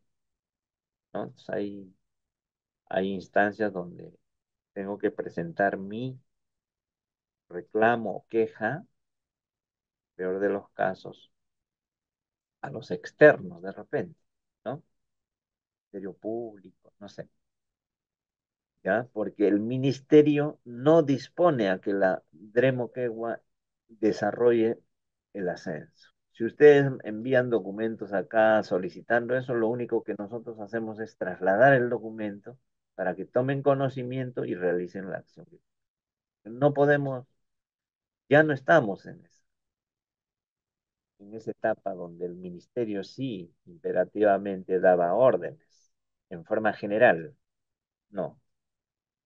Alejita, en el sistema AINI, AINI, pero a ver, tenemos muchas inconsistencias con respecto a los cargos de los trabajadores de la 276. ¿Qué hacer para corregir? Y ahí se consulta, no tengo respuesta. Perfecto, Alejita, este, el sistema AINI inicialmente fue, se ha desarrollado para el personal docente y por ahí han incorporado al administrativo como para, para no dejarlos de lado. En esa medida hay muchos procesos, acciones que no necesariamente se alinean a las reglas que señala la 276 y su reglamento. Y hemos encontrado muchas inconsistencias de las que ustedes vienen solicitando a través de la plataforma ISOS. Eh, acá la DAGET, nosotros solamente tenemos competencias sobre personal de sedes administrativas 276. En el MINEDU, y yo creo que ya lo hemos dicho, manifestado muchas veces, son cinco las direcciones que tienen competencia sobre personal administrativo. 276. ¿Sí? Antes era una sola oficina, que era la oficina de personal, pero ante la nueva estructura del Minedo a partir del 2015 en adelante, esa responsabilidad ha recaído a la oficina propia de recursos humanos que atiende solamente a Lima. Nosotros en regiones solamente atendemos, o sea, como DAGET, a las sedes administrativas, pues tenemos la Dirección de Fortalecimiento de Gestión Escolar que atiende a las instituciones educativas de educación básica, ¿sí? técnico-productiva. Y también tenemos a la DIFOIT, que atiende al personal administrativo de instituciones de educación superior pedagógicas. Y finalmente tenemos a la DICERPA, que atiende a instituciones educativas tecnológicas, las superiores. Fíjense. Entonces, Todas esas direcciones tienen competencia. Ustedes cuando mandan documentos, mandan nada más pues al Minedu, ¿no? Entonces acá tenemos que hacer esa redistribución para que puedan. Entonces, en el sistema AINI, por ejemplo, hasta el momento no se ha definido la atención pues, sobre los tickets de la plataforma, porque llegan en forma general, general todo acá, y nosotros no podemos atender eso.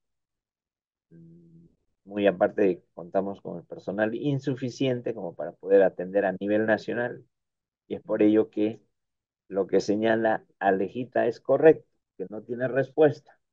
Bueno, es por ello, pero vamos a ver en qué medida se podrá poco atenuar esa situación. No hay manera de... Mal haría decirte que mañana o pasado, o en estos días te vamos a atender. ¿Ya? Alberto Quispe, el ascenso al inmediato superior, y si no hubiera el ascenso, ese A, procede. Claro, es un concurso de plazas vacantes, lo hemos señalado. Cuando hablamos de concurso de plazas vacantes es porque yo me voy de un nivel que voy a ganar menos a ganar más. Pero les voy a poner un ejemplo que por ahí me hicieron la consulta. ¿Se acuerdan? En los años 90, producto del proceso de homologación, se incorporaron solamente los niveles remunerativos. ¿Y qué ha pasado? Eso, ha hecho, eso se hizo también en un desorden en el sector educación. Tal es así que en muchas regiones en el país hemos encontrado cargos de un grupo ocupacional pero con nivel remunerativo diferente a ese grupo, un grupo superior. Ejemplo, hemos encontrado secretarias, uno, dos, tres, con la categoría remunerativa de profesional D, de dedo. Este tipo de trabajadores que tienen estas características, llámese auxiliares técnicos, es muy difícil que puedan desplazarse. porque al tener un nivel remunerativo superior y de querer acceder a un cargo del grupo profesional, probablemente el cargo tenga un nivel remunerativo inferior. Ejemplo para el caso de la secretaria. La secretaria tenía la categoría remunerativa de profesional D. Y en la misma UGEL se produce una vacante de especialista administrativo, pero en la categoría de profesional E. Reúne los requisitos de formación académica, todo lo que quiera la secretaria, postula y gana la plaza. ¿Mm? Gana la plaza. ¿Qué significaría? De que esa secretaria que venía ganando como profesional de, de dedo, pase a ganar como profesional E, enano. Entonces es algo incongruente. Y por principio constitucional no se podría bajar la remuneración, pero tampoco podría mantenerla porque son plazas diferentes. Pues esa, ese tipo de trabajadores que tienen esta connotación es muy difícil que se desplacen. ¿Ya? Eh, ponía un ejemplo como para que tengan, tengan ahí. Después tenemos, a ver, Giovanna, claro, Giovanna lo que consulta los ascensos ahora se, eh, se efectúan, bueno, llamemos ascensos mm, por grupo ocupacional o por nivel remunerativo, es por plaza vacante, por plaza vacante, porque no podría ser por nivel remunerativo, porque eso no dice la norma. La 276 no dice por niveles remunerativos los ascensos, dice por niveles de carrera. Y no tengo niveles de carrera. En las convocatorias del proceso de reasignación se puede llevar a cabo solamente bajo el esquema interno en la misma región y no externo. Mm, el tema es de que si en la primera etapa coberturas todo, ya el otro se cae, pues ya no es necesario desarrollar. O si no llegas a coberturarlas, tendrá, ahí la gente por ahí se pone las pilas y están en las averiguaciones. Si se llegó a coberturar, entonces obligan a la entidad a que desarrolle la segunda etapa. Por eso. En las convocatorias del proceso de resignación 276 se puede tomar en cuenta razones de interés personal y no de salud. Mm, a ver, ¿se puede tomar en cuenta interés personal y no de salud? No, pues cada uno tiene su propia particularidad. Si yo pido por salud y no reúno los requisitos, el comité me lo considera como interés personal. ¿Sí? Entonces, para, para poder reasignarme por cualquier motivo, hay una serie de requisitos. Para yo desplazarme por salud, debo haber agotado todo lo que señala la norma. Pero si no justifico, el comité está en la obligación de ese expediente pasarlo como interés personal. Y entonces se maneja como interés personal nada más, proceso. Después dice, ¿cómo la UG Lodre, si cuenta con plazas vacantes presupuestadas y que no están ocupadas, deben llevar el proceso de reasignación de periodicidad anual? Claro. Las plazas, ustedes saben que las plazas tienen que ir ocupándose. Si no, no las ocupas ahora las normas, creo que ya han bajado, incluso ya no son los dos años, sino te las eliminan, ¿no? En el AIRS. Fíjense que en la 276 no hay falta gente, pero el MEF se da el lujo de eliminarlas. ¿Mm? Hasta en eso estamos. Entonces, ahí, eh, el tema de la periodicidad anual dependiendo, ¿no? Siempre todo está condicionado a las actividades que tengan en la entidad y otra es la disponibilidad de plazas. Si la norma me dice que debe ser dos veces al año, si no tengo plazas, no hago ni una. Entonces, hay que tener en cuenta todas esas, esas ah, consideraciones. Las DRE y UGL deben llevar a cabo procesos de ascensos para cumplir el proceso de reasignaciones. La 276 señala que ah, a las reasignaciones le precede el ascenso, ¿no? Entonces, eh, hay algunas UGELs que por ahí están haciendo consultas sobre reasignaciones y yo les pregunté, ¿hicieron su concurso de plazas vacantes, el famoso ascenso? No, me dicen. No, pues porque más fácil es hacer una reasignación que un ascenso, porque el proceso es un poquito más, tedioso, digamos, el ascenso que la reasignación.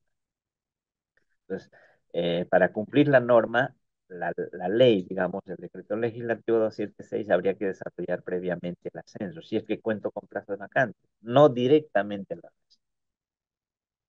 Eh, Antonio de Ancash, uy, acá tenemos cualquier cantidad de preguntas. Vamos a ver, Antonio dice, las plazas de personal que están ocupadas por ya lo dijimos, que no van las, todas las plazas que están al amparo de la ley no se tocan. Fernandina, con respecto a la reasignación, hace poco se está llevando una y me presenté al proceso. Fui observada por no pertenecer a la región. Claro, en la primera etapa, seguro. Uh, discriminación. Ya, claro, entiendo que te han devuelto el expediente porque seguramente están desarrollando por etapas, o sea, eso, ¿no? Porque tranquilamente debieron mantener tu expediente y esperar la segunda etapa si es que la plaza no se eh, coberturaba, ¿no? Pero no creo que sea eso discriminación, habría que entenderlo bien, Fernandina. Jorge, un trabajador auxiliar quiere cambiar de plaza técnico y él se. Ah, el trabajador es auxiliar, la norma, para pasar a técnico. Ya lo dijimos, cualquier cambio, sea por formación que haya tenido como persona en mis estudios, tendría que esperar una, que exista una plaza vacante, de acuerdo a mi perfil, a mi formación académica. Si no hay plaza vacante, por más estudios que tenga, obviamente no voy a poder acceder a, desplazarme. ¿Mm? Tiene que existir una plaza vacante.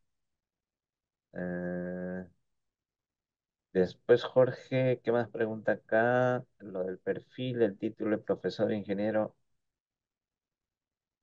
A ver, eh, tenemos el clasificador de cargos aprobado por la 197 del 2022 que ya está alineado a la norma de idoneidad, sobre todo para los cargos de confianza y los de funcionarios, ¿no? Pero ahí están definidos todos los perfiles para los cargos de los también profesionales, técnicos, auxiliares.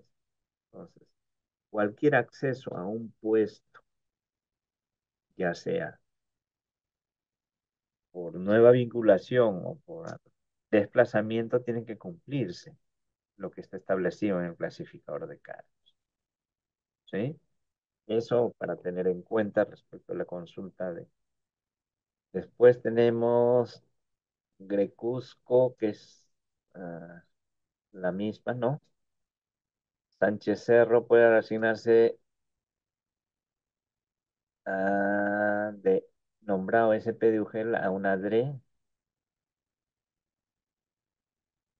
No, eso ya no es, lo de Sánchez Cerro no es reasignación, eso es un concurso de plazas, de plazas vacantes, porque estamos hablando de una categoría de profesional E a profesional A, de entre DRE y UGEL, no ahí tiene que ser una convocatoria de ascenso, no podría ser emperatriz, es necesario tener un alto grado, un oficio, puede estar lo mismo que ah, precisamos respecto al informe, ¿no? De 596 de la Oficina de Recursos Humanos, donde hace la precisión sobre plazas vacantes.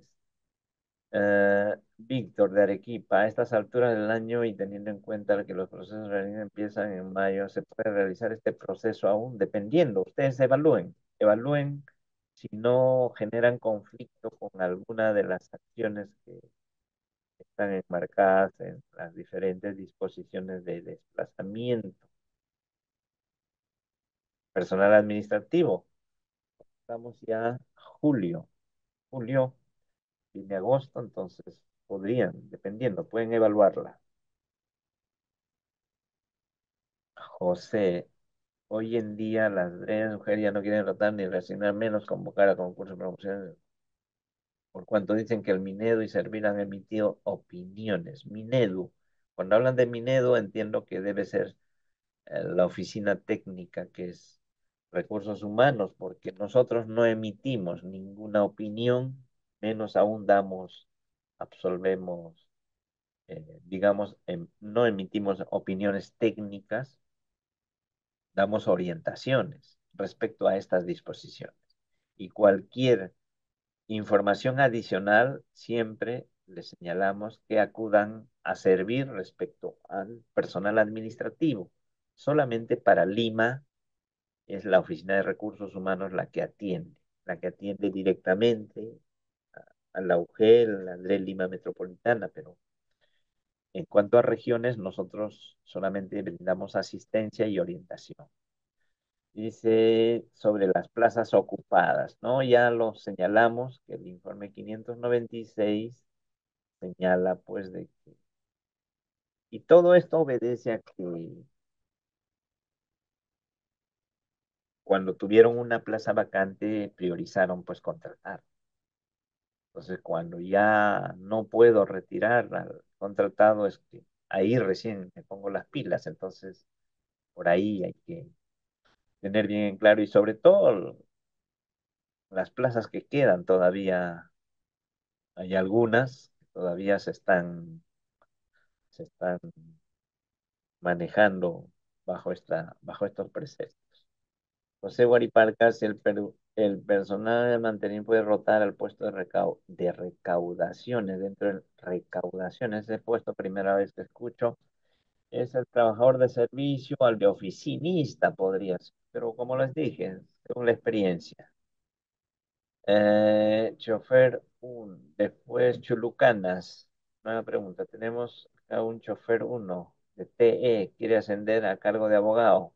Mm, va a ser bien difícil más allá de que sea de formación académica abogado, porque tendría que acreditar experiencia experiencia como abogado.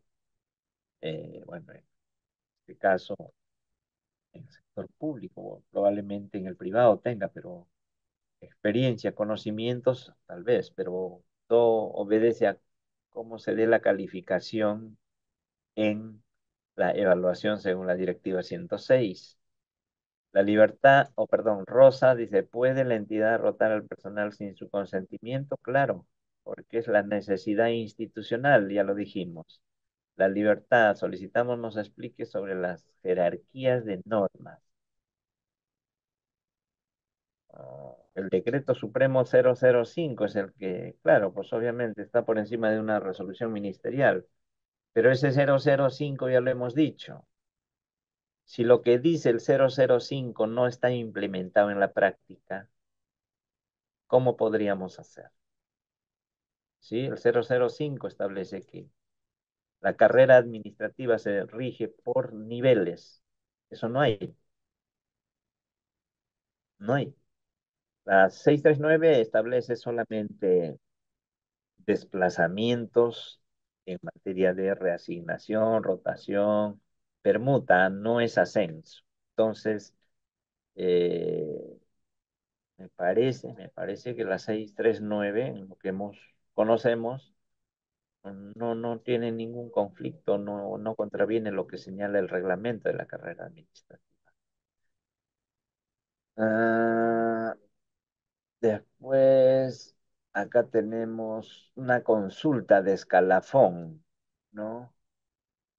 Eh, ¿Me puede indicar el responsable de escalafón cómo lo llaman a la fecha? Existimos. El responsable de escalafón es un técnico administrativo. Puede ser uno, dos o tres. ¿ah? Dependiendo cómo esté ubicado en el CAP provisional o dependiendo si es que tiene algún técnico, de repente operador PAR, que también a veces consideran ahí. Mm, en algunos casos por ahí he visto algunos oficinistas, pero más es el técnico eh, administrativo. El cargo estructural es ese, técnico administrativo, pero la, las funciones que desarrolla es la de escalafón, puede hacer la de planilla, la de la IR, la de Nexus, eh, patrimonio, tantos, ¿no? Nancy dice, con 35 años de servicio, he pasado los niveles en un grupo de técnicos, poco con los requisitos para ascender a profesional. ¿Hay plaza? ¿Hay plaza de profesional en tu en la institución educativa? Si hay y si oferta, podrías postular y, y cumples con el perfil. Bueno, eres una profesional en formación académica, sí, pero el resto habría que ver. Pero tiene que existir la plaza. Si no hay plaza, no podemos. Liz Guerrero. Mm, es la misma consulta, ¿no? Dice, personal nombrado, ¿puedo rotarme en la misma mujer? Claro. En la misma mujer puedes rotar siempre y cuando exista la plaza de igual categoría. ¿Sí? No vemos así en forma particular, o sea, les estamos dando los lineamientos generales. Categoría o nivel remunerativo determinante para poder rotar. Si no, no podemos. ¿Ya? Un trabajador de instituto puede reasignar a una DRE. Estamos hablando de la misma DRE. No es reasignar, es rotar. Para eso tiene que haber plaza vacante. Ya, igual, Mejía y John Sinche hacen la misma pregunta. Ugel Picanchi, para resignaciones que, que es de cargo a cargo, con el mismo nivel remunerativo y necesariamente tiene que tener título para el cargo, ejemplo, secretario. Sí, han habido algunas preguntas en Cusco, creo si no me equivoco, que se están presentando al proceso de reasignación y el comité les está pidiendo la presentación de título, no sé qué. Eh, acuérdense que los servidores de la carrera administrativa son nombrados, todos. Al ser nombrados, cuentan con una carpeta o legajo personal y en ella está definida toda su trayectoria laboral.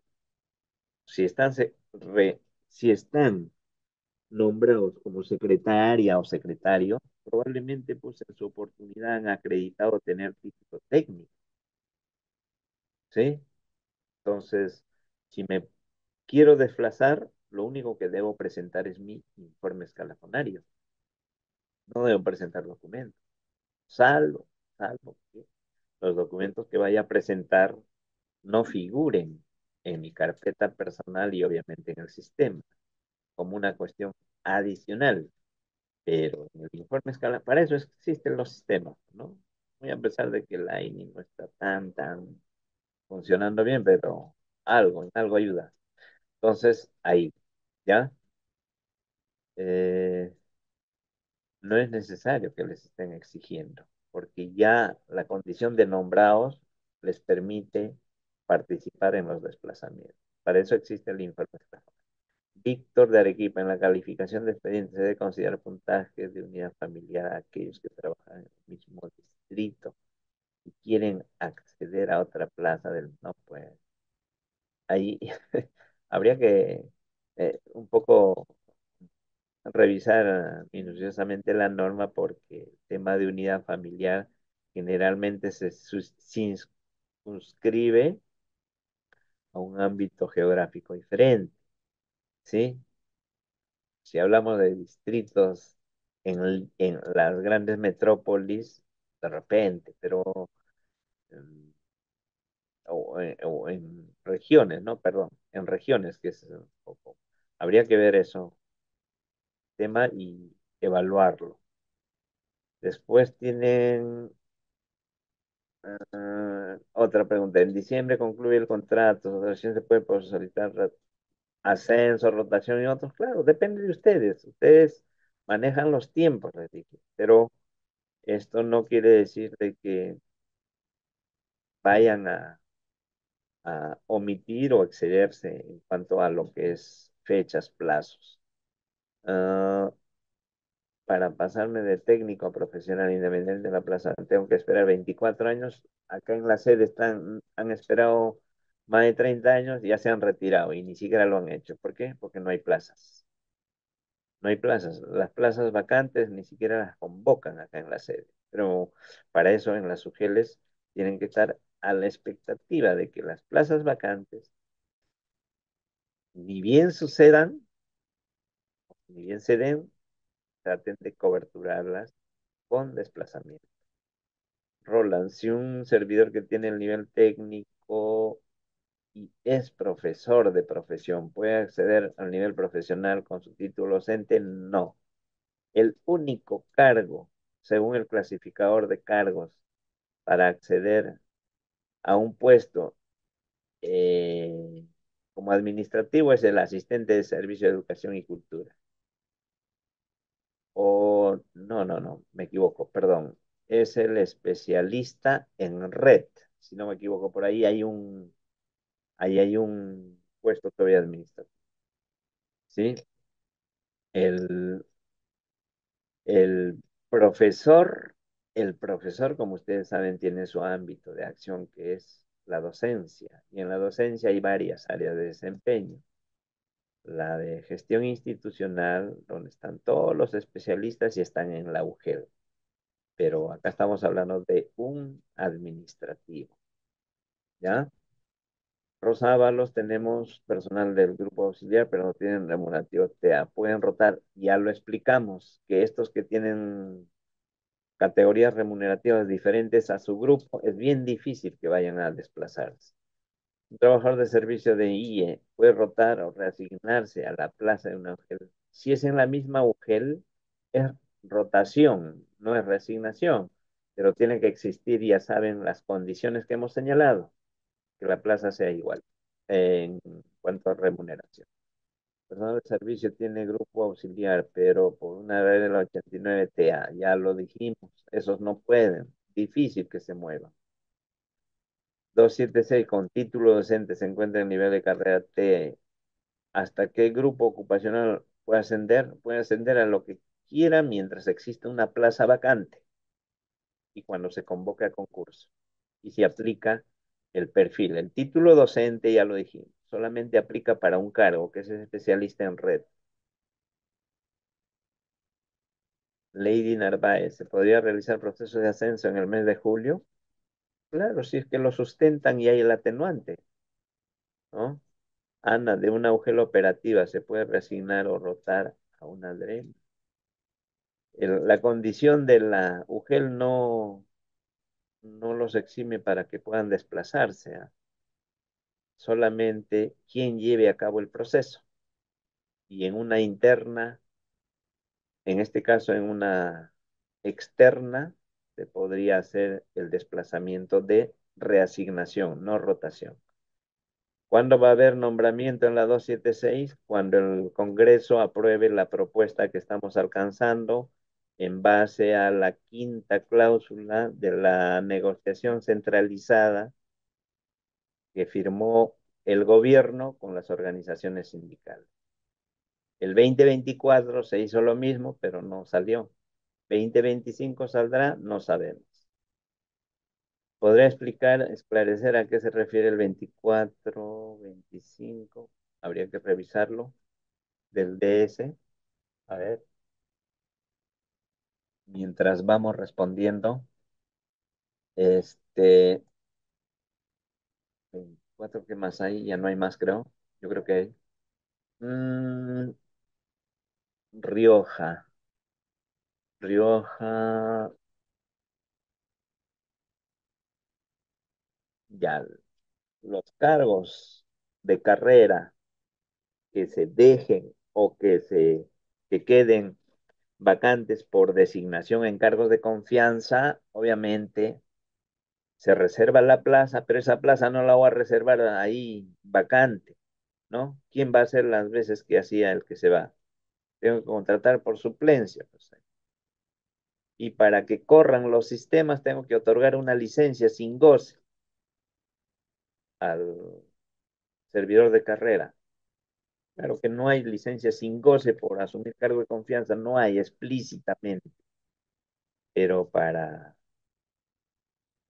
dejar de pagarle en esa plaza tengo que considerarlo como licencia. Sin goce, ¿ya? Se puede permutar de la sede del UGEL a una institución respetando, claro, eso habíamos dicho, que la permuta, la permuta es entre eh, dos cargos con igual características, pero en una institución educativa con la UGEL ya no sería permutar, sería rotar. Yo me voy a tu plaza del colegio y tú te vienes a la plaza de mi. Es una especie de, digamos, entre comillas, permuta, pero es, la acción es rotación. Lalo, a la fecha se puede solicitar cambio, pero no hay pues los cambios de grupos ocupacionales, son concursos de plaza vacante y por, por suerte de la situación accedes a un cargo de mayor jerarquía y está en otro grupo superior y has cambiado de grupo, pues. Entonces, hay personas de servicio que tienen experiencia y estudios, obviamente. La norma dice que el hecho de tener la formación académica no habilita, eso dice la 276, a acceder al grupo profesional. Tiene que concursar y existir la plaza vacante. Johan, Johan, la UGEL omite las recomendaciones de publicar las fechas, priorizando a trabajadores que quieren postular en el proceso. Pero ustedes son pues los que deben estar ahí al tanto de todo ello. Paola dice, ¿de qué año es la directiva 106? En la RSG 530 del 2005 eh, la emitió el Ministerio de Educación con la ex unidad de personal que hoy es la Oficina de Recursos Humanos. ¿Sí?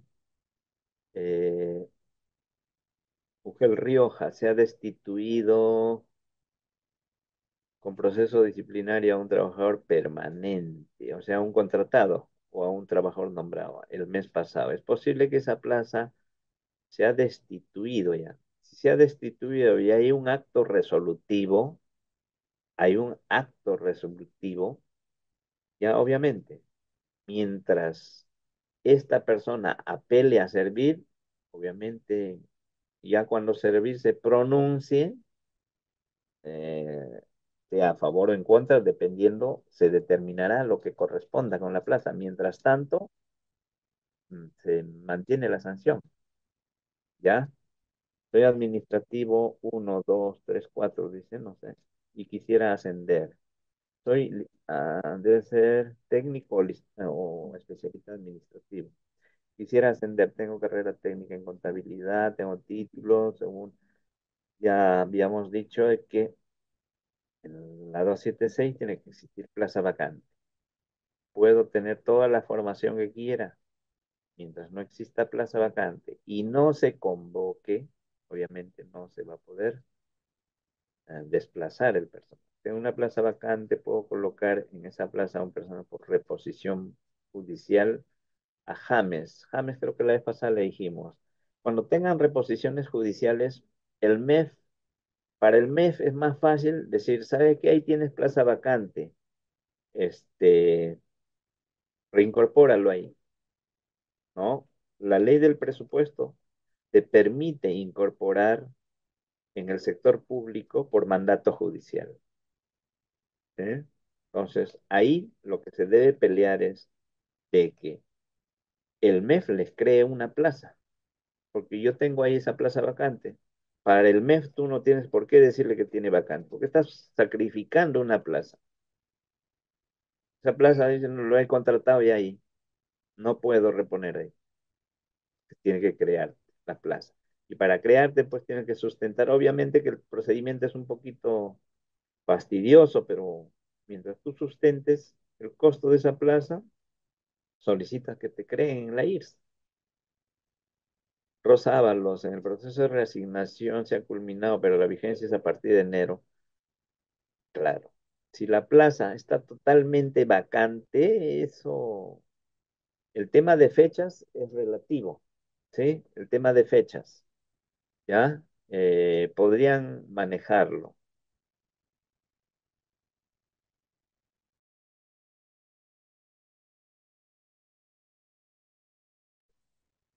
¿Ya? Entonces, eso para tener en cuenta. Eh, ¿qué más hay en este proceso? ¿Se ha culminado? Ya. Se puede reasignar a un servidor de un UGEL a una plaza similar de un tecnológico. De una UGEL a un tecnológico es reasignación. ¿Sí? Obviamente, obviamente, la reasignación, mientras cumplas con el perfil, no interesa si te das de primaria, secundaria o de tecnológico a inicial, no, es lo de menos. ¿Sí? Antes era, antes, pero no. Después, este, Max, ¿se puede llevar el proceso de rotación en diciembre? Depende de ustedes.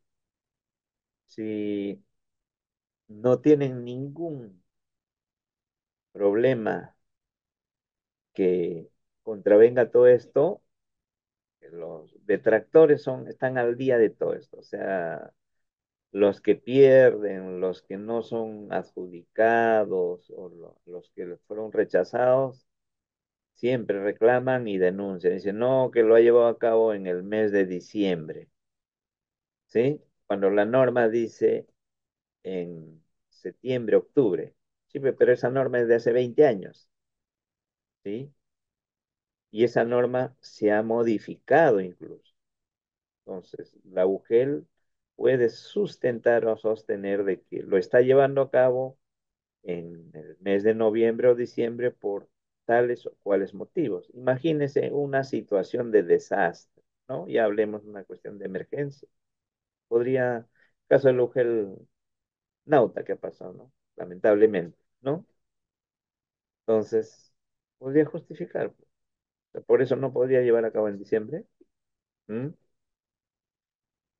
Da vida, dávalos. ¿Cómo se puede ampliar el proceso de rotación hasta el mes de noviembre? Ya se comentó eso. Mm, El tema de los plazos, ¿no? La 251 es la que modifica y definió la fecha. Edwards, el 90 se dio este proceso de adecuación de niveles remunerativos. Claro, pues ¿Cuál es el marco legal? Ahí hay una resolución ministerial. la no tengo ahorita la vista el número, pero podemos compartir. Sino que esto de, esta pregunta que hace Edward de, no sé si de dónde es, pero es que en ese proceso, eh, inicialmente en la sede central del Ministerio de Educación se emitió una resolución para la adecuación de niveles remunerativos de los diferentes grupos ocupacionales. Y entonces, ¿qué pasó? Los de regiones hicieron lo mismo, pero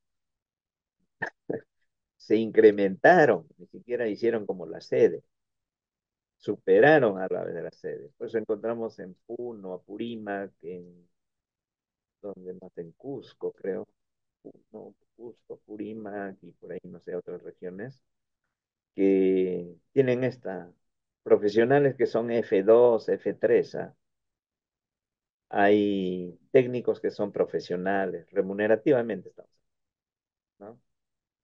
El marco legal ha sido de que eh, ese mm, decreto supremo, el 022 que les señalé, ahí lo utilizaron de forma inadecuada en cuanto a la ubicación de niveles remunerativos. Entonces pusieron pues a diestra y siniestra y todavía hay algún personal que se mantiene con eso, pero ya quedan pocos de esos y sobre ellos es que estamos señalando que estas plazas al quedar vacantes, esta que la pregunta Edwards sobre plazas que no tienen la correlación en cuanto al nivel remunerativo, eh, se actualicen tanto en el AIRS como en el Nexus, inicialmente en la máxima categoría del grupo al que pertenece.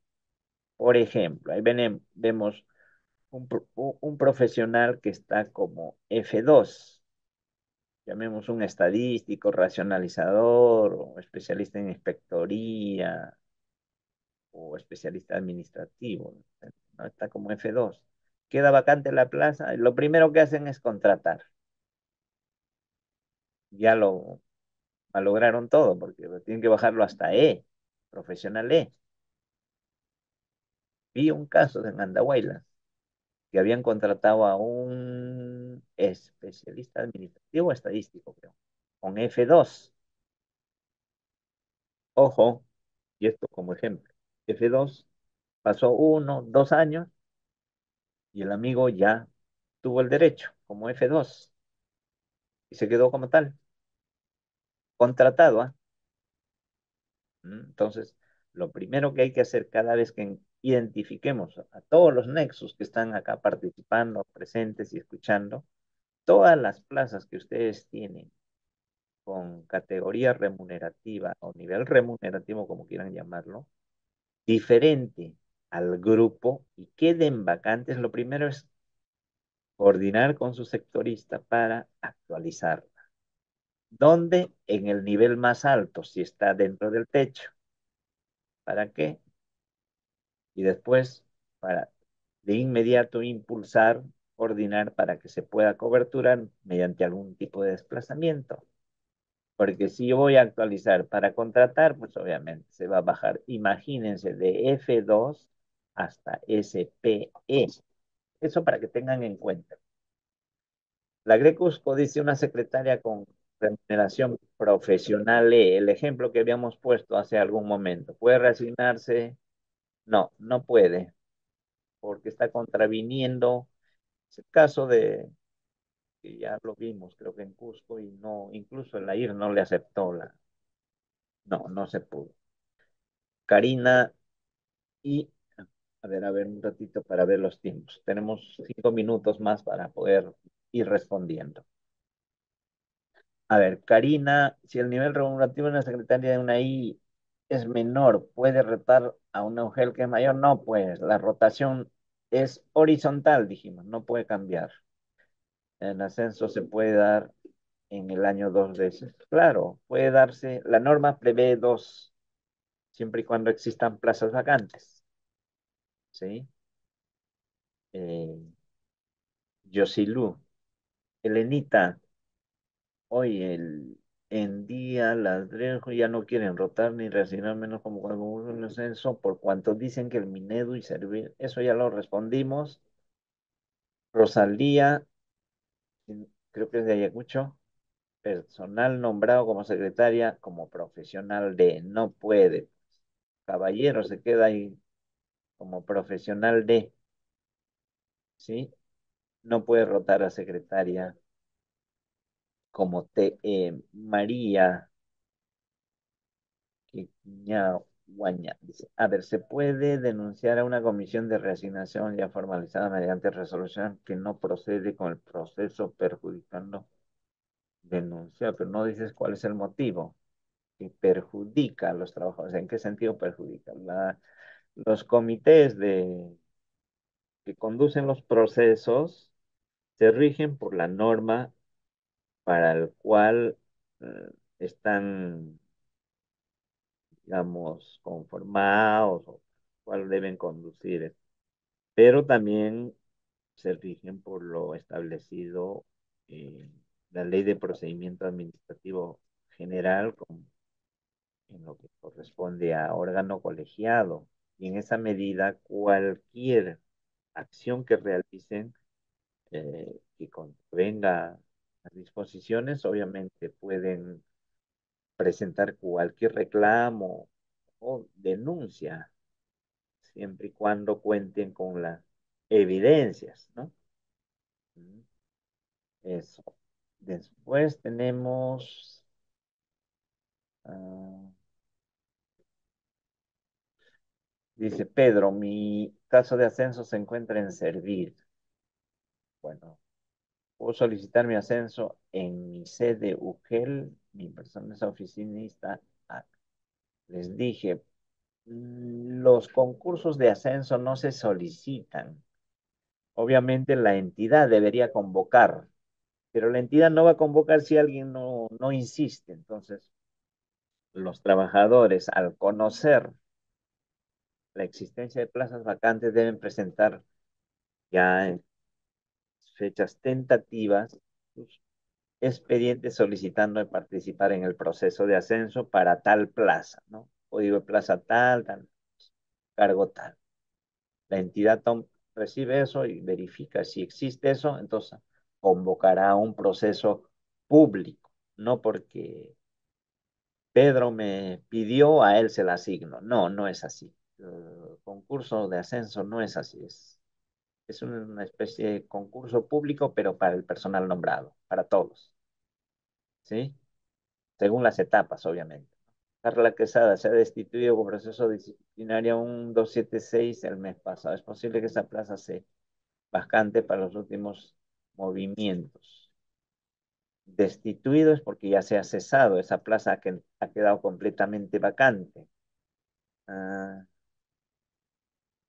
ya lo dijimos, creo que mientras dure la apelación se mantiene la sanción y por ende la plaza la tengo que ocupar. Y si vuelve esa persona y la plaza está ocupada, obviamente habrá que esperar que se desvincule o en todo caso, en el peor de casos, solicitar la generación o creación de otra plaza. Rosa de Ferreñafe. Respecto a los destaques, este, obviamente tiene que haber consentimiento de tanto de la entidad de origen como la de destino y, y, se da pues a, un cargo a desempeñar, no a un cargo, porque no va a una plaza, a desempeñar las mismas funciones para, para la cual está nombrada. Pero eso no sucede en la práctica. Llevo de un colegio a la sede porque necesito para que opere el Nexus o la planilla o para que trabaje, apoye ahí, entonces no se da, no se cumple la norma el destacado obviamente va a seguir percibiendo su remuneración conforme a su nombramiento. La UGEL no le simplemente va a llevar el control de la asistencia. Antonio Paredes dice, procede el ascenso de un trabajador de I a la UGEL de un cargo a otro, a un cargo similar, otro, siempre manteniendo el grupo nivel, ¿no? Eso ya lo dijimos. Mm, Ana ¿Dónde encuentro la ficha, la ficha de evaluación para reasignación en la norma? ¿Te refieres al tipo de reasignación? Tienes los requisitos y los criterios de evaluación. Paola, en los 90 hubo homologación, ya eso también ya lo planteamos, lo hemos señalado. Los procesos de reasignación para ver el informe escalafonario. Salió hoja de vida. Esa pregunta siempre la formulan la que hace, eh, no sé quién, no es Paola, pero respecto al informe escalafonario, Servir todavía no sé si ha definido respecto al escalafón algunas disposiciones sobre cómo debe, pero las secciones en la carpeta personal definidas y una de ellas es la trayectoria laboral. Y en la trayectoria laboral debe estar todos los puestos en el que haya sido desplazado el trabajador después de su nombramiento. Para la reasignación yo tengo que informar eso. De cuándo entró y por qué tiempo se ha desplazado y en qué cargos. Entonces, en el manual normativo que todavía tiene vigencia del 2003, 2005 o 2003, el 376. Eh, si gustan, les vamos a hacer llegar. Hay un modelo de informe escalafonario para la reasignación. ¿Por qué ese modelo difiere del resto? Porque en la reasignación el trabajador se va a ir de la entidad, ya no va a trabajar en la entidad. Para retirarse de la entidad tiene que irse con toda la información saneada y es por ello que deben firmar las autoridades correspondientes, llámese personal, el que hace el informe, el de control institucional, el administrador y el, por último, el de la UGEL, ¿no? Porque no debe de haber ninguna, ningún tema en cuanto a patrimonio, muebles en serie, no debe estar inmerso en proceso disciplinario, no debe tener deudas pendientes, o sea, tantas cosas. Por eso es que el informe escalafonario para reasignación contiene tres, cuatro, hasta cinco firmas, pero ahí está el modelo. Entonces, eh, en el sistema INI, ustedes ponen reasignación y sale. Y si no, y si faltara alguna firma, se pone el sello nada más y firman, no hay problema. La cosa es validar de que esa persona sí puede salir de la entidad, porque no tiene ningún problema. Ese es el fin de este informe telefonario, ¿ya? Después tenemos Albina, especialista en redes, no existe en el clasificador de cargos. Obviamente, si no hay de Ugel Cuterbo, eh, Servir señala que se debe usar el clasificador de cargos de la entidad o del INAP. En el del INAP todavía hay, en los papiros hay del INAP. Existe ese cargo especialista en redes. Albina, un personal administrativo puede pedir licencia sin goce para trabajar con, cuando tienes la suspensión perfecta, uh, puedes tener cualquier otro ingreso en el sector en el sector público, en el Estado. Puede trabajar de... No hay problema.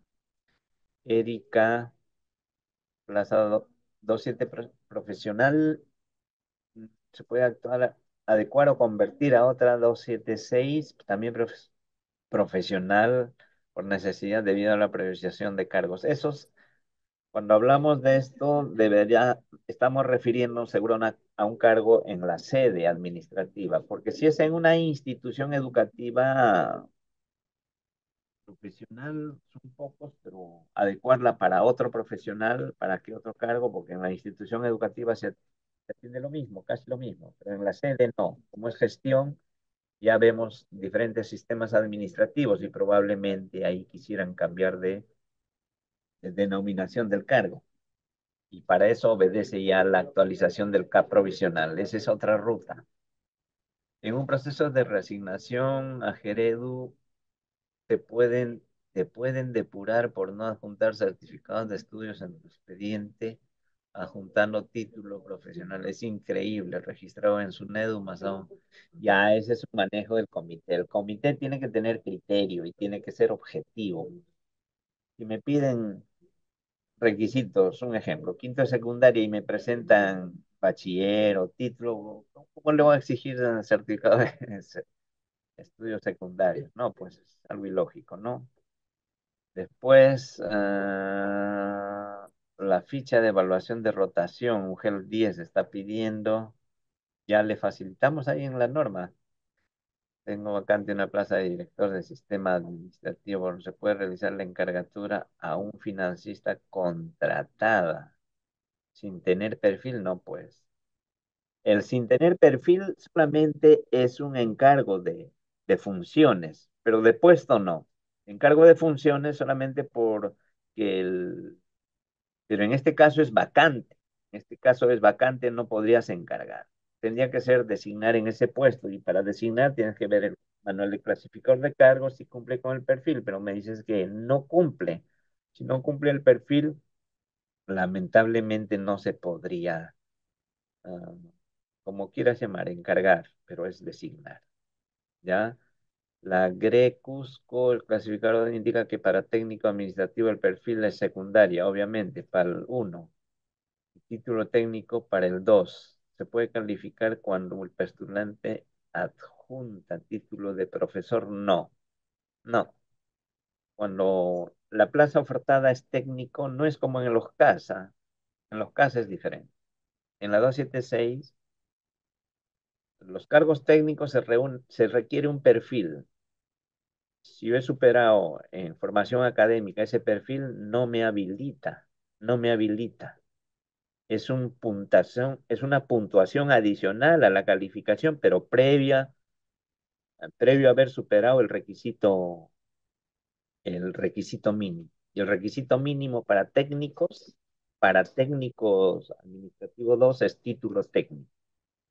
¿Sí? Pero si es título, perdón, si es el cargo técnico administrativo 1, podría. Solamente para el 1 para el 1, porque para el 1 se pide secundaria completa, pero para el 2 más arriba es título técnico.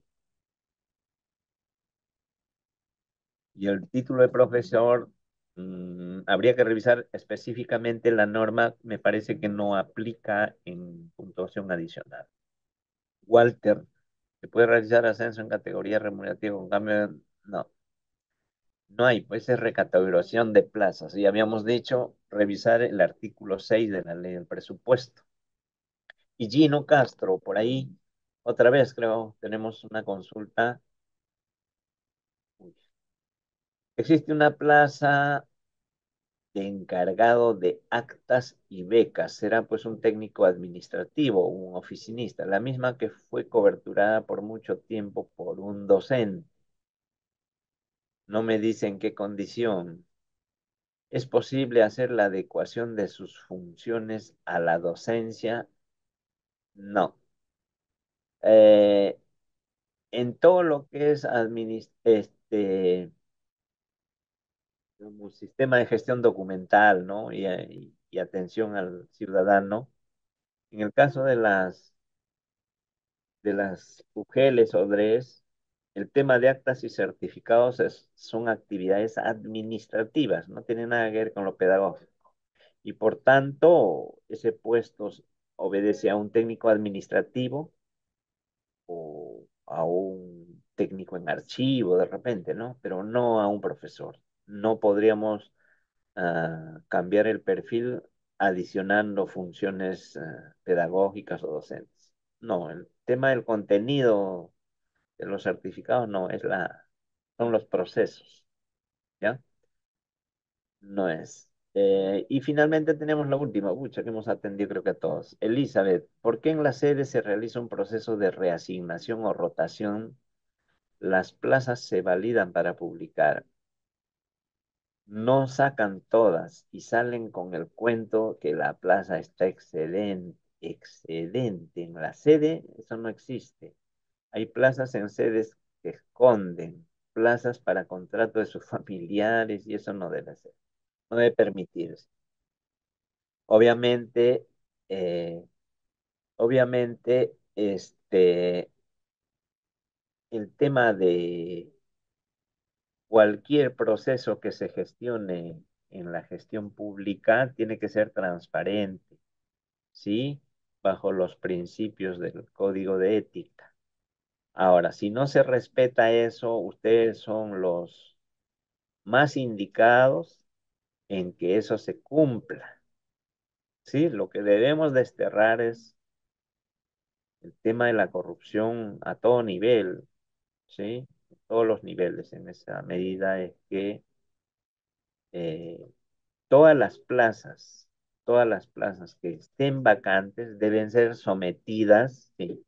sometidas a los procesos que correspondan y deben ser publicadas a través de los canales de comunicación que se tiene. Ahora tenemos en un tris uno se entera, las redes sociales, ¿no? Entonces, por ahí hay que tener bien en claro y hay que ser, hay que estar alertas más que todo, porque este proceso del ciclo laboral implica que eh, constantemente se den plazas vacantes, ¿sí? Entonces, por ceses, diferentes motivos. Entonces, esas plazas deben coberturarse y hay que eh, hacer un seguimiento ahí los responsables de Nexus, obviamente, eh, no deben, digamos, ser estén ya no amparando todas estas uh, situaciones de, ocultamiento de plazas, no, las plazas con señalar de que están vacantes, no estás transgrediendo el tema de transparencia, o en el caso de la información pública, porque no estás refiriendo más allá de que existe una plaza, ¿no? Entonces, en eso hay que ser eh, un poco coherentes y encima transparente. Por eso es que eh, en los procesos que se den diferentes instancias, llámese DREU, GEL, incluso instituciones educativas para los mismos contratos, que no es el tema de hoy, debe haber totalmente transparencia. Para eso se exige la participación de uno de los representantes de los trabajadores, y en este caso las organizaciones sindicales este, convocan a, sus, a, alguno de sus afiliados o a que participen, y ellos son los que deben eh, estar continuamente alertas a todos estos procesos que se desarrollan. ¿Ya? Entonces, con, con esa última intervención hemos culminado en atender las consultas eh, y antes de cerrar esta, esta reunión, queríamos ah, ah, primero agradecerles por haberse dado ese tiempo y participar de, de lo que muchos de ustedes ya conocen y tal vez tienen alguna, alguna cierta duda por cuanto ya están involucrados tiempo en esta tarea de, la gestión del personal. Cualquier duda adicional que tengan, este, vamos a atenderlos a través de los correos.